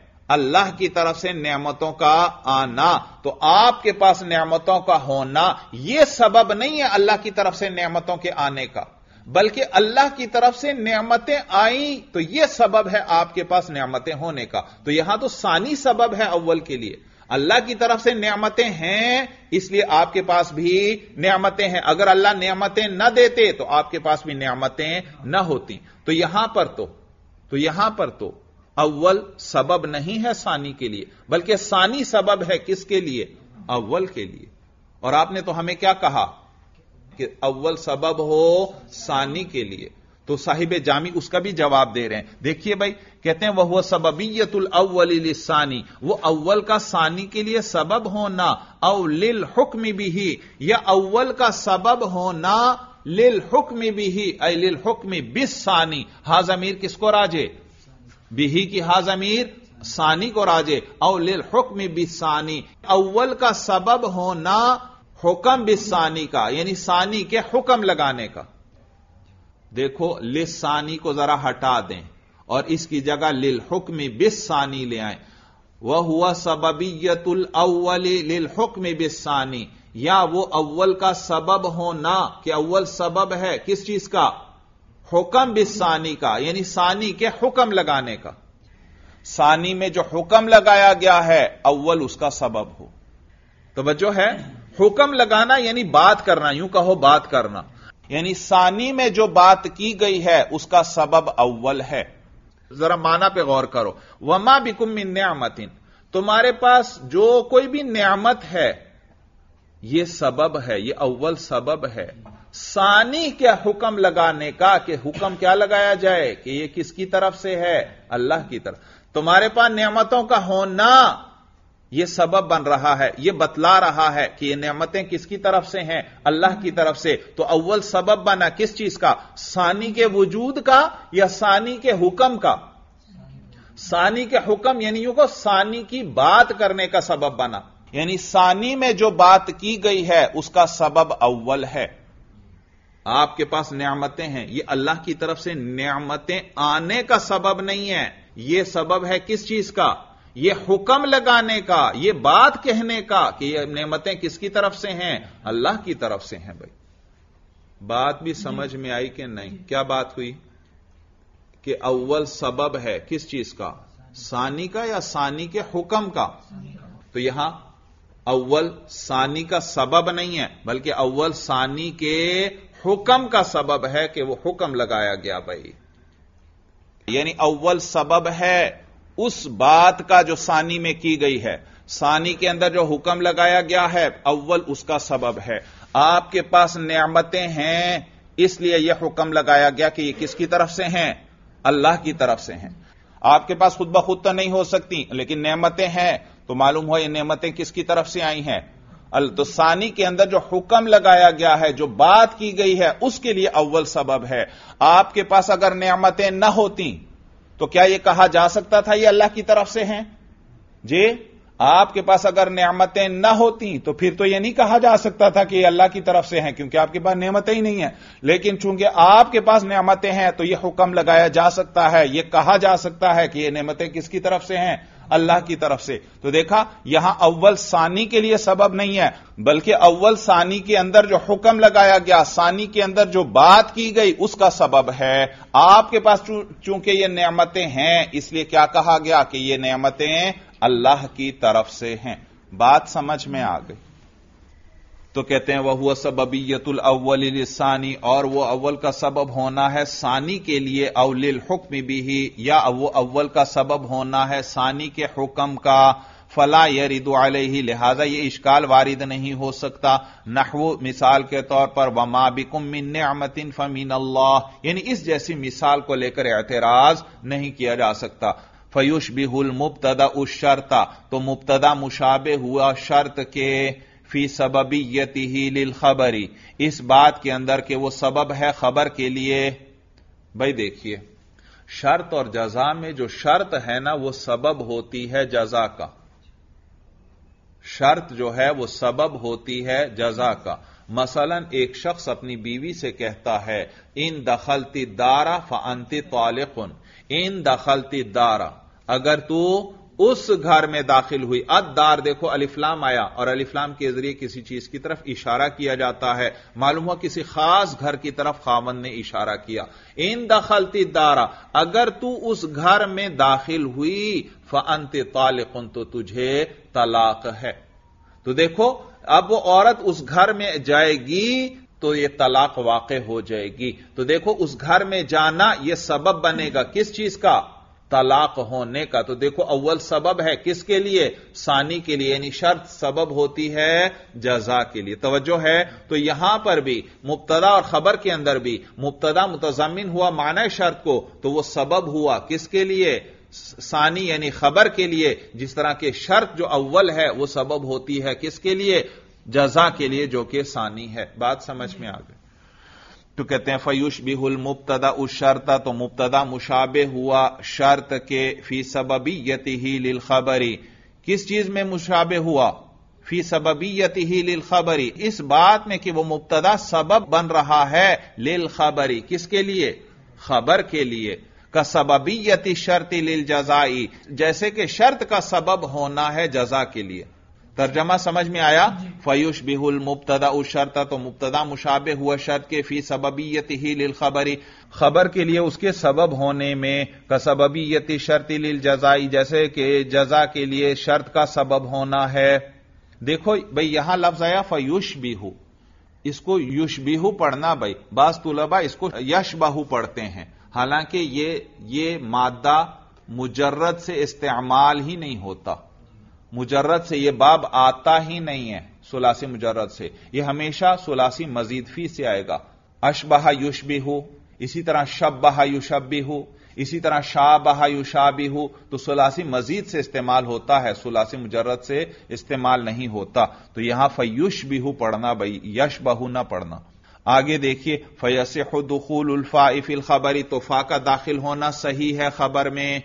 वह यस आदम दुखूली ही फ़ी ही और फा का दाखिल ना होना भी सही है। भाई, मतन में क्या आया? कि उसकी खबर में फा का दाखिल होना सही है। आगे साहिब जामी फरमा रहे हैं, वही सिर्फ़ आदम दुखूल ही तशरी कर रहे हैं। फा के दाखिल होना सही है। माना क्या है? कि न दाखिल होना भी सही है। यानी को फा का दाखिल करना जायज़ है, यानी लाजिम नहीं। तो कहते हैं वैसे आदम दुखूल ही फ़ी ही और उसमें फाका दाखिल न होना भी सही है। नजरन इला मुजर्रदी तजमुन मुबतदा ईमान शर्ती, नज़र करते हुए, देखते हुए, इला मुजर्रदी, सिर्फ़ इस बात की तरफ़, महज इस बात की तरफ़, क्या? तजमुन मुबतदा ईमान शर्ती, के मुबतदा मुतजमिन है शर्त के माना को। सिर्फ़ इस बात की तरफ़ नज़र करते हुए कि मुबतदा मुतजमिन है माना शर्त को तो इसकी खबर पर फाका दाखिल होना भी सही और दाखिल ना होना भी सही। यानी को फाका दाखिल करना जायज़ है, यानी लाजिम नहीं। सिर्फ़ इस बात की तरफ़ नज़र करते हुए कि मुबतदा मुतजमिन है माना शर्त को। यानी वो दलालत मकसूद है या दलालत मकसूद नहीं? इसकी तरफ़ नज़र ना करें। सिर्फ़ इस बात की तरफ़ नज़र करें कि मुबतदा मुतजमिन है मानए शर्त को। सिर्फ़ इस बात की तरफ़ नज़र करते हुए कि मुबतदा क्या है? मुतजमिन है मानए शर्त को। तो फाका लाना भी जायज़ और न लाना भी जायज़। याद रखो, दरअसल यहाँ इश्काल होता है। इश्काल यह होता है कि साहिब काफिया ने क्या फरमाया? कि मुबतदा जब मुतजमिन हो माना शर्त को तो उसकी खबर पर फाका लाना जायज़ है। तो इश्काल होता है कि नहीं भाई, आपकी बात ठीक नहीं।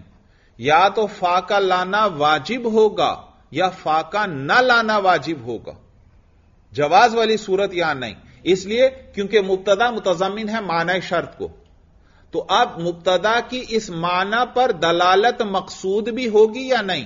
तोज्जो है। मैंने आपसे क्या कहा? अल्लदी या अतीनी फलहू देर हमन यह मुबतदा क्या है? मुतजमिन है, माना है शर्त को। लेकिन मेरा भी इरादा है यानी मुतकलिम जो इस जुमले को अदा कर रहा है यह मुबतदा, मुतजमिन है, माना शर्त को। और माना शर्त क्या है कि अव्वल सबब होता है किसके लिए? सानी के लिए। तो अगर मेरा भी यह इरादा है, मैं अव्वल को सबब बना रहा हूँ किसके लिए? सानी के लिए तो यह दलालत मेरी मकसूद हुई। जब यह दलालत मकसूद हुई तो फिर फाका लाना वाजिब है भाई, क्योंकि मैं अव्वल को सबब बना रहा हूँ सानी के लिए। जैसे शर्त और जजा में शर्त क्या होती है? सबब और सानी क्या होता है? मुसबब तो वहाँ फा लेकर आते हैं। तोज्जो है? बात क्या हुई फिर सुनो। यहाँ साहिब काफिया ने क्या फरमाया? कि फाका लाना जायज़। मोतरिज एतराज़ करता है कि नहीं, आपकी बात हमें कबूल नहीं। फा का लाना जायज़, इसका तो मतलब है चाहे फा को लाओ या ना लाओ, हालाँकि यहाँ तो दो ही सूरतें बनती हैं। एक सूरत में फा का लाना वाजिब है और एक सूरत में फा का ना लाना वाजिब है। जवाज वाली कोई सूरत नहीं है कि आप लाएँ या ना लाएँ, इसलिए क्योंकि दो ही सूरतें बनती हैं। आप एक मुबतदा लाएँ और वो मुबतदा मुतजमिन है माना शर्त को, और माना शर्त किसे कहते हैं कि अव्वल सबब होगा, सानी मुसबब तो ये दलालत मुतकलिम का मकसूद होगी, वो ये दलालत चाहता है या नहीं चाहता? उसने ये जुमला अदा किया है। अगर दलालत उसका मकसद है, वो अव्वल को सबब बनाना चाहता है किसके लिए? सानी के लिए। तो फिर तो फाका लाना वाजिब है। फाका लाना वाजिब है। ये फा हमें बतला रही है कि अव्वल सबब है किसके लिए? सानी के लिए भाई। यानी यूँ कहें, सबबियत पर अगर दलालत मकसूद है तो फाका लाना वाजिब। और अगर सबबियत पर दलालत मकसूद नहीं है तो फिर फाका न लाना वाजिब है भाई। तवज्जो है? या तो मैं अव्वल को सानी के लिए सबब बना रहा हूँ या नहीं बना रहा, दो ही सूरतें हैं। अगर मैं सबब बना रहा हूँ तो फाका लाना वाजिब क्योंकि यह फा बताएगी कि अव्वल सबब है किसके लिए? सानी के लिए। और अगर यह दलालत मेरी मकसूद नहीं है, मैं यहाँ यह नहीं बतलाना चाहता तो फिर फाका न लाना वाजिब है भाई। क्योंकि फा लाऊँगा, फिर तो सुनने वाला समझेगा कि शायद ये मकसूद है मेरा कि अव्वल सबब है सानी के लिए। हालाँकि ये मेरा मकसूद नहीं। तो यहाँ दो ही सूरतें बनती हैं, कि वो दलालत मकसूद होगी या वो दलालत मकसूद नहीं। अगर दलालत मकसूद है उस सबबियत पर तो फिर फा का लाना वाजिब। और अगर वो दलालत मकसूद नहीं तो फा का न लाना वाजिब है भाई। यहाँ तो जवाज वाली कोई सूरत नहीं है कि लाना भी सही और न लाना भी सही। तो साहिब जामी उसका जवाब दे रहे हैं। कि भाई दलालत के मकसूद होने और गैर मकसूद होने से कत नज़र, सिर्फ़ यह देखो कि मुबतदा मुतजमिन है माना शर्त को। सिर्फ़ इस बात की तरफ़ नज़र करते हुए फाका लाना भी जायज़ और न लाना भी जायज़। दलालत के मकसूद और गैर मकसूद होने को न देखें, सिर्फ़ किस बात की तरफ़ नज़र करें? कि मुबतदा मुतजमिन है किसको? माना शर्त को। लिहाजा, जब यह मुतजमिन है, माना शर्त को तो फा, चाहे तो ले आए और चाहे तो ना लाएँ भाई। यानी यूँ कहो, यानी कसद दलालत है या कसद दलालत नहीं है। इससे कत नज़र, इसकी तरफ़ नज़र ना करें, क्योंकि कसद दलालत है, फिर तो फाका लाना वाजिब। और कस्द दलालत नहीं है तो फिर फाका न लाना वाजिब। तो कस्द दलालत और आदम कस्द दलालत से कत नज़र सिर्फ़ इस बात की तरफ़ देखें कि यह मुबतदा मुतजमिन है, मान शर्त को तो फिर बई लिहाज फाका लाना जायज़ है। और दलालत की तरफ़ नज़र करें तो फिर कसद होगा तो फाका लाना वाजिब। कसद नहीं है तो फिर फाका न लाना वाजिब। तो उनसे कत नज़र महज इस बात की तरफ़ देखते हुए कि यह मुबतदा मुतजमिन तो है माना शर्त को भाई। इसमें शर्त वाला माना तो है भाई।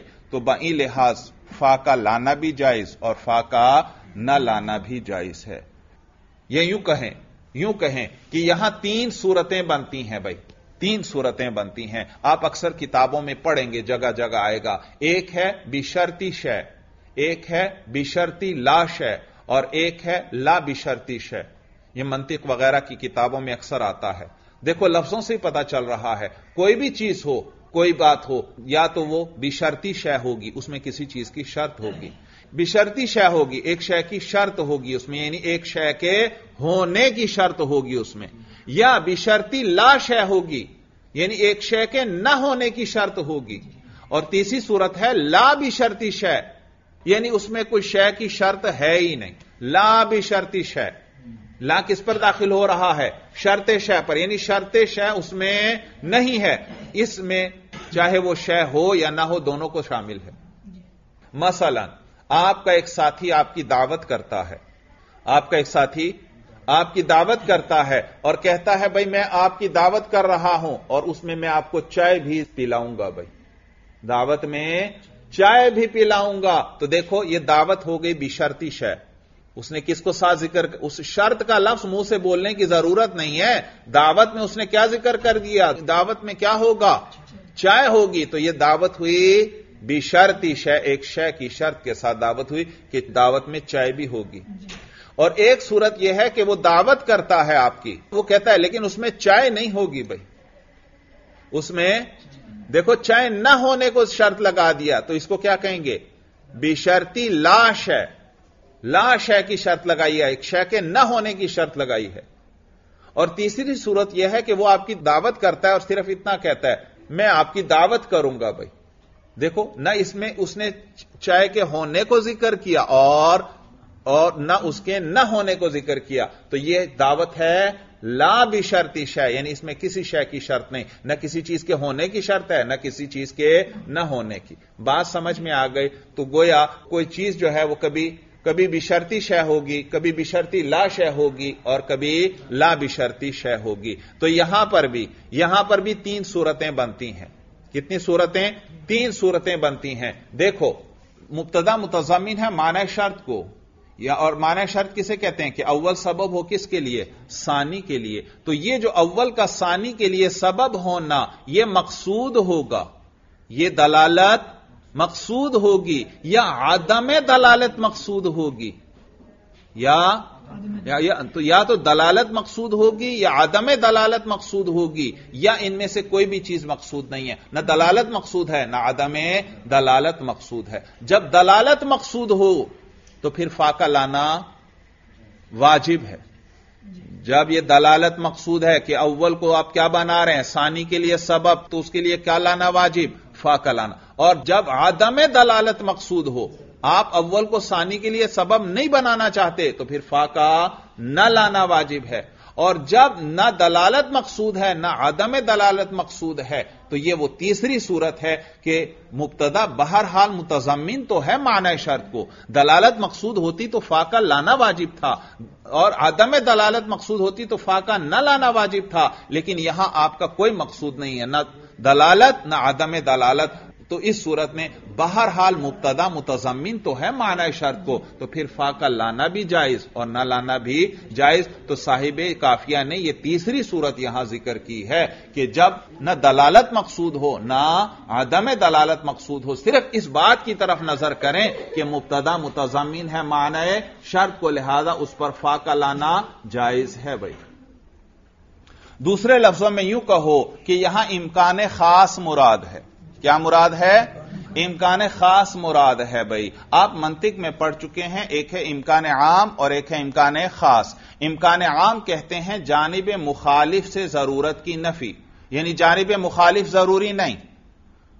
जानब मुखालिफ ज़रूरी नहीं। देखो, एक एक है एक चीज़ का होना, एक है एक चीज़ का न होना। यह होना और न होना एक दूसरे के मुखालिफ हैं। तवज्जो है, एक है चीज़ का होना और एक है चीज़ का न होना, एक वक्त में एक ही होगा, या होना होगा, या न होना होगा भाई। तो ये दोनों एक दूसरे के मुखालिफ हैं। तो इम्कान आम में इम्कान ज़िक्र किया जाता है कि हो सकता है, मुमकिन है। मसलन देखो भाई, मैं आपसे कहता हूँ कि हो सकता है जैद अभी आ जाए, मुमकिन है जैद अभी आ जाए। तो मैं किसको ज़िक्र कर रहा हूँ? इम्कान को। तवज्जो है? इम्कान को ज़िक्र कर रहा हूँ। तो देखो इसमें मैं जैद के आने को ज़िक्र कर रहा हूँ। तो जानब मुखालिफ क्या? न आना। तो यह इम्कान आम है। इसमें जानब मुखालिफ से ज़रूरत की नफी होती है। मैं आने को ज़िक्र कर रहा हूँ। तो जानब मुखालिफ क्या? न आना। मालूम हुआ न आना ज़रूरी नहीं। न आना। अगर न आना ज़रूरी होता फिर मैं ये नहीं कह सकता था हो सकता है जैद अभी आ जाए। मसल फ़र्ज़ करो जैद अमरीका में है। जैद कहाँ पर है? अमरीका में है। तो फिर कभी मैं कहूँगा हो सकता है अभी जैद आ जाए। जी? क्योंकि अब उसका न आना ज़रूरी है भाई। मतलब इतनी दूर है कि यहाँ वो अब पहुँच ही नहीं सकता भाई। या यूँ दूसरी मिसाल लो, अमेरिका की मिसाल भी ना लो, वहाँ भी एहतमाल है, हो सकता है वो सफ़र करके आ रहा हो, रास्ते में आ जाए। बल्कि फ़र्ज़ करो जैद मर चुका है। जैद मर चुका है। जब मर चुका है तो फिर कभी मैं कहूँगा कि हो सकता है जैद अभी आ जाए। क्यों? जैद के आने का इम्कान मैं क्यों नहीं ज़िक्र कर सकता? क्योंकि जानब मुखालिफ, यानी जैद का न आना ज़रूरी है, लाजमी है भाई, क्योंकि वो मर चुका है, वो आ ही नहीं सकता भाई।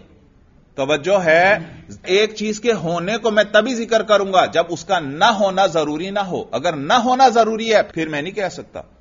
जैद ज़िंदा है तो मैं कह सकता हूँ कि हो सकता है अभी जैद आ जाए, क्योंकि उसका न आना ज़रूरी नहीं। और अगर जैद मर चुका है, अब तो उसका न आना ज़रूरी है, लाजमी है, वो आ ही नहीं सकता। तो अब मैं कभी भी नहीं कहूँगा, हो सकता है जैद आ जाए आने को ज़िक्र नहीं कर सकता। क्यों? क्योंकि जानब मुखालिफ ज़रूरी है। यानी न आना ज़रूरी है क्योंकि वो मर चुका है भाई। बात समझ में आ गई। तो इम्कान आम किसे कहते हैं? जानब मुखालिफ से ज़रूरत की नफी। आना, आने के मुखालिफ क्या? न आना। खाने का मुखालिफ क्या? न खाना। पीने का मुखालिफ क्या? न पीना। चलने का मुखालिफ क्या? न चलना। तो जब एक चीज़ ज़िक्र होगी, जब एक चीज़ का इम्कान ज़िक्र होगा तो उसकी जो जानब मुखालिफ है, उसका होना ज़रूरी नहीं। तभी यह इम्कान ज़िक्र किया जाएगा। मसलन फ़र्ज़ करो फ़र्ज़ करो। एक पत्थर है पूरे कमरे जितना बड़ा है।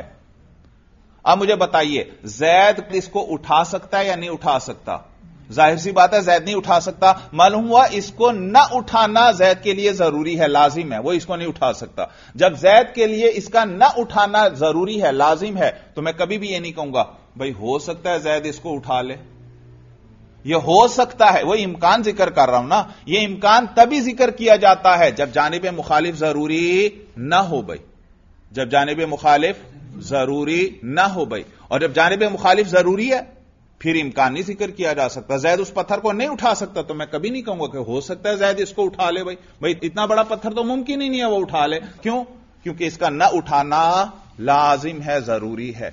बात समझ में आ गई। ये और मिसाल ले लो। मसा देखो, सूरज मशरक से निकलता है।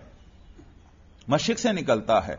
और शुमाल से इसका निकलना मुमकिन है शुमाल से निकलना मुमकिन नहीं। जब मुमकिन नहीं तो मैं कभी नहीं कहूँगा, हो सकता है आज सूरज शुमाल से निकल आए।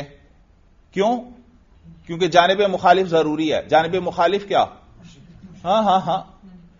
हाँ, शुमाल से न निकलना। इसी में नफी लेकर आओ। मैंने किसको ज़िक्र किया? शुमाल से निकलने को। इसकी जानब मुखालिफ क्या? शुमाल से न निकलना ज़रूरी है, लाजमी है। शुमाल से वो निकल ही नहीं सकता। तो इम्कान तभी ज़िक्र किया जाता है जब जानब मुखालिफ ज़रूरी ना हो। अगर जानब मुखालिफ ज़रूरी हो फिर इम्कान ज़िक्र नहीं किया जा सकता भाई। शुमाल से सूरज का निकलना ज़रूरी है लाजमी है यहाँ से वो निकल ही नहीं सकता। लिहाजा मैं कभी भी नहीं कह सकता हो सकता है सूरज आज शुमाल से निकल आए। बात समझ में आ तो इम्कान आम किसे कहते हैं? जानब मुखालिफ से ज़रूरत की नफी। और जानब मुखालिफ क्या माना? एक चीज़ का होना ज़िक्र है तो उसकी मुखालिफ क्या? न होना। अगर होना ज़िक्र है तो उसकी जानब मुखालिफ है ना होना। और अगर ना होना ज़िक्र कर रहे हैं तो इसकी जानब मुखालिफ क्या है? होना भाई। तो जो भी चीज़ ज़िक्र की जाए, चाहे होना, चाहे न होना, इसमें इम्कान तभी आएगा, इसका इम्कान तभी होगा, जब इसकी जानब मुखालिफ ज़रूरी ना हो भाई। बात समझ में आ गई। यह था इम्कान आम भाई। इसमें जानब मुखालिफ से ज़रूरत की नफी होती है। और एक है इम्कान खास। इम्कान खास में जानबैन से ज़रूरत की नफी होती है। दोनों जानब से ज़रूरत की नफी। न होना ज़रूरी और ना, न होना ज़रूरी भाई। न होना ज़रूरी। इम्कान खास उसमें दोनों जानब से ज़रूरत की नफी होती है। न होना ज़रूरी और ना, न होना ज़रूरी। मसन एक पत्थर है, पचास शेर का पत्थर है भाई। पचास शेर। अब देखो, इसमें एहतमाल है। हो सकता है जैद इसको उठा ले, हो सकता है जैद इसको ना उठा सके भाई। मसल मैं कहता हूँ, हो सकता है जैद इस पत्थर को उठा ले। उठाने की जानब मुखालिफ क्या? न उठाना। मालूम हुआ न उठाना ज़रूरी नहीं, वरना मैं ये नहीं कह सकता था। और हो सकता है जैद इस पत्थर को न उठाए। न उठाने की जानबी मुखालिफ क्या? उठाना, मालूम हो उठाना ज़रूरी नहीं। हो सकता है उठाए, हो सकता है ना उठाए, एक भी जानब ज़रूरी नहीं है। चाहे आप उठाने को ज़िक्र करें, चाहे न उठाने को, उसकी जानब मुखालिफ ज़रूरी नहीं है। तो इसको क्या कहते हैं? इम्कान खास कहते हैं। तो इम्कान आम में एक जानब, देखो कलाम में एक चीज़ ज़िक्र करेंगे, या होना या न होना। तो जानब मुखालिफ से अगर ज़रूरत की नफी हो तो इसको क्या कहते हैं? इम्कान आम। होना ज़िक्र है तो उसकी जानब मुखालिफ क्या? न होना। और न होना कलाम में ज़िक्र है तो इसकी जानब मुखालिफ क्या होना? तो इसमें जानब मुखालिफ से ज़रूरत की नफी होती है तो इसको इम्कान आम कहते हैं। और अगर दोनों जानब से ज़रूरत की नफी हो तो इसको इम्कान खास कहते हैं। अब देखिए भाई, यहाँ पर आया कि उसकी खबर पर, ऐसे मुबतदा की खबर पर फाका लाना सही है, यानी जायज़ है यह इम्कान खास मुराद है। यह क्या है? इम्कान खास मुराद है। क्या माना? फाका लाना भी जायज़ और न लाना भी तो है। तो जब फाका लाना जायज़ है, मालूम हुआ जानब मुखालिफ, यानी न लाना ज़रूरी नहीं।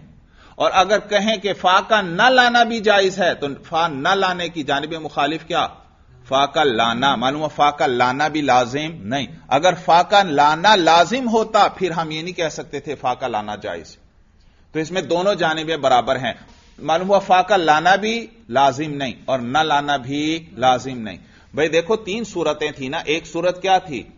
या तो यह दलालत मकसूद होगी कि अव्वल सानी के लिए सबब है, या यह दलालत मकसूद नहीं होगी। अगर यह दलालत मकसूद है तो फिर फाका लाना लाजिम है। देखो, लाना लाजिम है। लाना लाजिम है। और अगर दलालत मकसूद नहीं तो फिर फाका न लाना लाजिम है। देखो इन दो सूरतों में एक एक चीज़ लाजिम हो रही है। एक एक चीज़ लाजिम है, लेकिन जवाज वाली सूरत में कोई एक भी चीज़ लाजिम और ज़रूरी नहीं। मालूम हुआ यह क्या ज़िक्र है? इम्कान खास, क्योंकि इम्कान खास में होना और ना होना दोनों में से एक भी ज़रूरी नहीं होता। दोनों मुमकिन होते हैं। बात समझ में आ गई? तो यहाँ पर भी इम्कान खास मुराद है। इम्कान आम मुराद नहीं है। दलालत मकसूद होगी या दलालत मकसूद नहीं? उनमें इम्कान आम मुराद है। दलालत मकसूद है तो फाका लाना लाजिम। मालूम हुआ न लाना जायज़ नहीं। और दलालत मकसूद नहीं तो फिर फाका न लाना वाजिब है। मालूम हुआ फाका लाना जायज़ नहीं। तो वहाँ देखो, एक एक जानब ज़रूरी है, जबकि यहाँ पर दोनों जानबें, दोनों जानबों से ज़रूरत की नफी है। न फाका लाना लाजिम, न फाका न लाना लाजिम तो इसमें इम्कान खास मुराद है। बात समझ में आ गई? तो महज इस बात की तरफ़ नज़र करते हुए कि मुबतदा मुतजमिन है माना शर्त को तो यहाँ मालूम हुआ, ला भी शर्ती शय मुराद है भाई। क्या मुराद है? ला भी शर्ती शय मुराद है। या यूँ कहें कि यहाँ पर इम्कान खास मुराद है। एक है इम्कान आम और एक है इम्कान खास। इम्कान आम में जानब मुखालिफ से ज़रूरत की नफी होती है। मसा होना ज़िक्र है तो उसकी जानब मुखालिफ क्या? न होना। और अगर न होना ज़िक्र है तो उसकी जानब मुखालिफ क्या? होना। इम्कान आम में एक चीज़ के इम्कान ज़िक्र किया जाता है कि यह मुमकिन है। और यह उसी वक्त कहा जाता है, जब जानब मुखालिफ ज़रूरी ना हो, लाजिम ना हो। अगर जानब मुखालिफ लाजिम हो, ज़रूरी हो, फिर यह नहीं कहा जा सकता कि यह मुमकिन है। तो वो सूरत जिसमें दलालत मकसूद हो, उसमें फाका लाना वाजिब है, और वो सूरत जिसमें दलालत मकसूद नहीं, उसमें फाका न लाना वाजिब है। तो देखो, उसमें एक जानब लाजिम है, ज़रूरी है। तो वहाँ पर वो इम्कान आम मुराद है, और यहाँ पर इम्कान खास मुराद है, और इम्कान खास में दोनों जानबें बराबर होती हैं। होना भी लाजिम नहीं और न होना भी लाजिम नहीं तो वो यहाँ पर मुराद है। बात समझ में आ गई। फिर तर्जमा सुने। कहते हैं फैस दुखूलफा इफिल खबरी तो सही है फा का दाखिल होना उस खबर में। वयस अदम दुखूली ही फ़ी ही और उस खबर के अंदर फा का दाखिल ना होना भी सही है। यानी दोनों सूरतें जायज़ हैं। नजरन इला मुजर्रदी तजमुनिल मुबतदा ईमान शर्ती। इस बात की तरफ़ नज़र करते हुए कि मुबतदा जो है, वो शर्त के माना को मुतजमिन है। सिर्फ़ इस बात की तरफ़ नज़र करते हुए कि मुबतदा मान शर्त को मुतजमिन है। यानी दलालत मकसूद है या दलालत मकसूद नहीं, इसकी तरफ़ नज़र किए बगैर। सिर्फ़ इस बात की तरफ़ नज़र करते हुए कि मुबतदा मुतजमिन है मान शर्त को। तो कहते हैं, नजरन इला मुजर्रदी तजमुनिल मुबतदा ईमान शर्ती। मुजरद का तर्जमा करेंगे महज के साथ, महज। नजरन इला मुजर्रदी तजमुनिल मुबतदा ईमान शर्ती। महज मुबतदा के मान शर्त को मुतजमिन होने की तरफ़ नज़र करते हुए। तर्जमा समझ में आया तर्जमा? नजरन इला मुजर्रदी तजमुनिल मुबतदा ईमान शर्ती। महज इस बात की तरफ़ नज़र करते हुए कि मुबतदा मुतजमिन है शर्त के माना को, व अम्मा ईदा खुशीदत दलालत अला दालिकल माना फिल लफ्सी और जब इरादा किया जाए उस माना पर दलालत का, और जब उस माना पर दलालत का इरादा भी किया जाए, फिर लफ्सी लफ्जों के अंदर के लफ्जों के अंदर भी उस पर दलालत हो जाए कि यह माना मकसूद है। यानी अव्वल को आप सबब बनाना चाहते हैं किसके लिए? सानी के लिए। फयजिब दुखूल फाइफी ही तो उसके अंदर फा का दाखिल होना वाजिब है भाई, क्योंकि आप लफ्जों में दलालत करना चाहते हैं कि अव्वल सबब है सानी के लिए। वह अम्मा इदा लम तुकसद। और बाकी जब ये, वो दलालत मकसूद न हो फलम यजिब दुखूल फ़ी तो फिर उस खबर पर फाका दाखिल करना वाजिब नहीं है, बल यजिबु आदम हो बल्कि आदम दुखूल जो है वो वाजिब है। बल्कि फिर उस फाका दाखिल न करना वाजिब है जब वो दलालत मकसूद नहीं है। और जबकि तीसरी सूरत यह है कि न दलालत मकसूद है, न आदम दलालत मकसूद है। तो सिर्फ़ इस बात की तरफ़ अगर देखें कि मुबतदा में बहरहाल मुबतदा मुतजमिन तो है माना शर्त को। चाहे मकसूद है, चाहे मकसूद नहीं तो लेकिन मुतजमिन तो है माना शर्त को। तो उसकी तरफ़ नज़र करते हुए फाका लाना भी जायज़ है और फाका न लाना भी जायज़ है भाई। बात समझ में आ गई? चलिए बस भाई, हादा मराम। अल्लाह आलम भी हकीकत कलाम।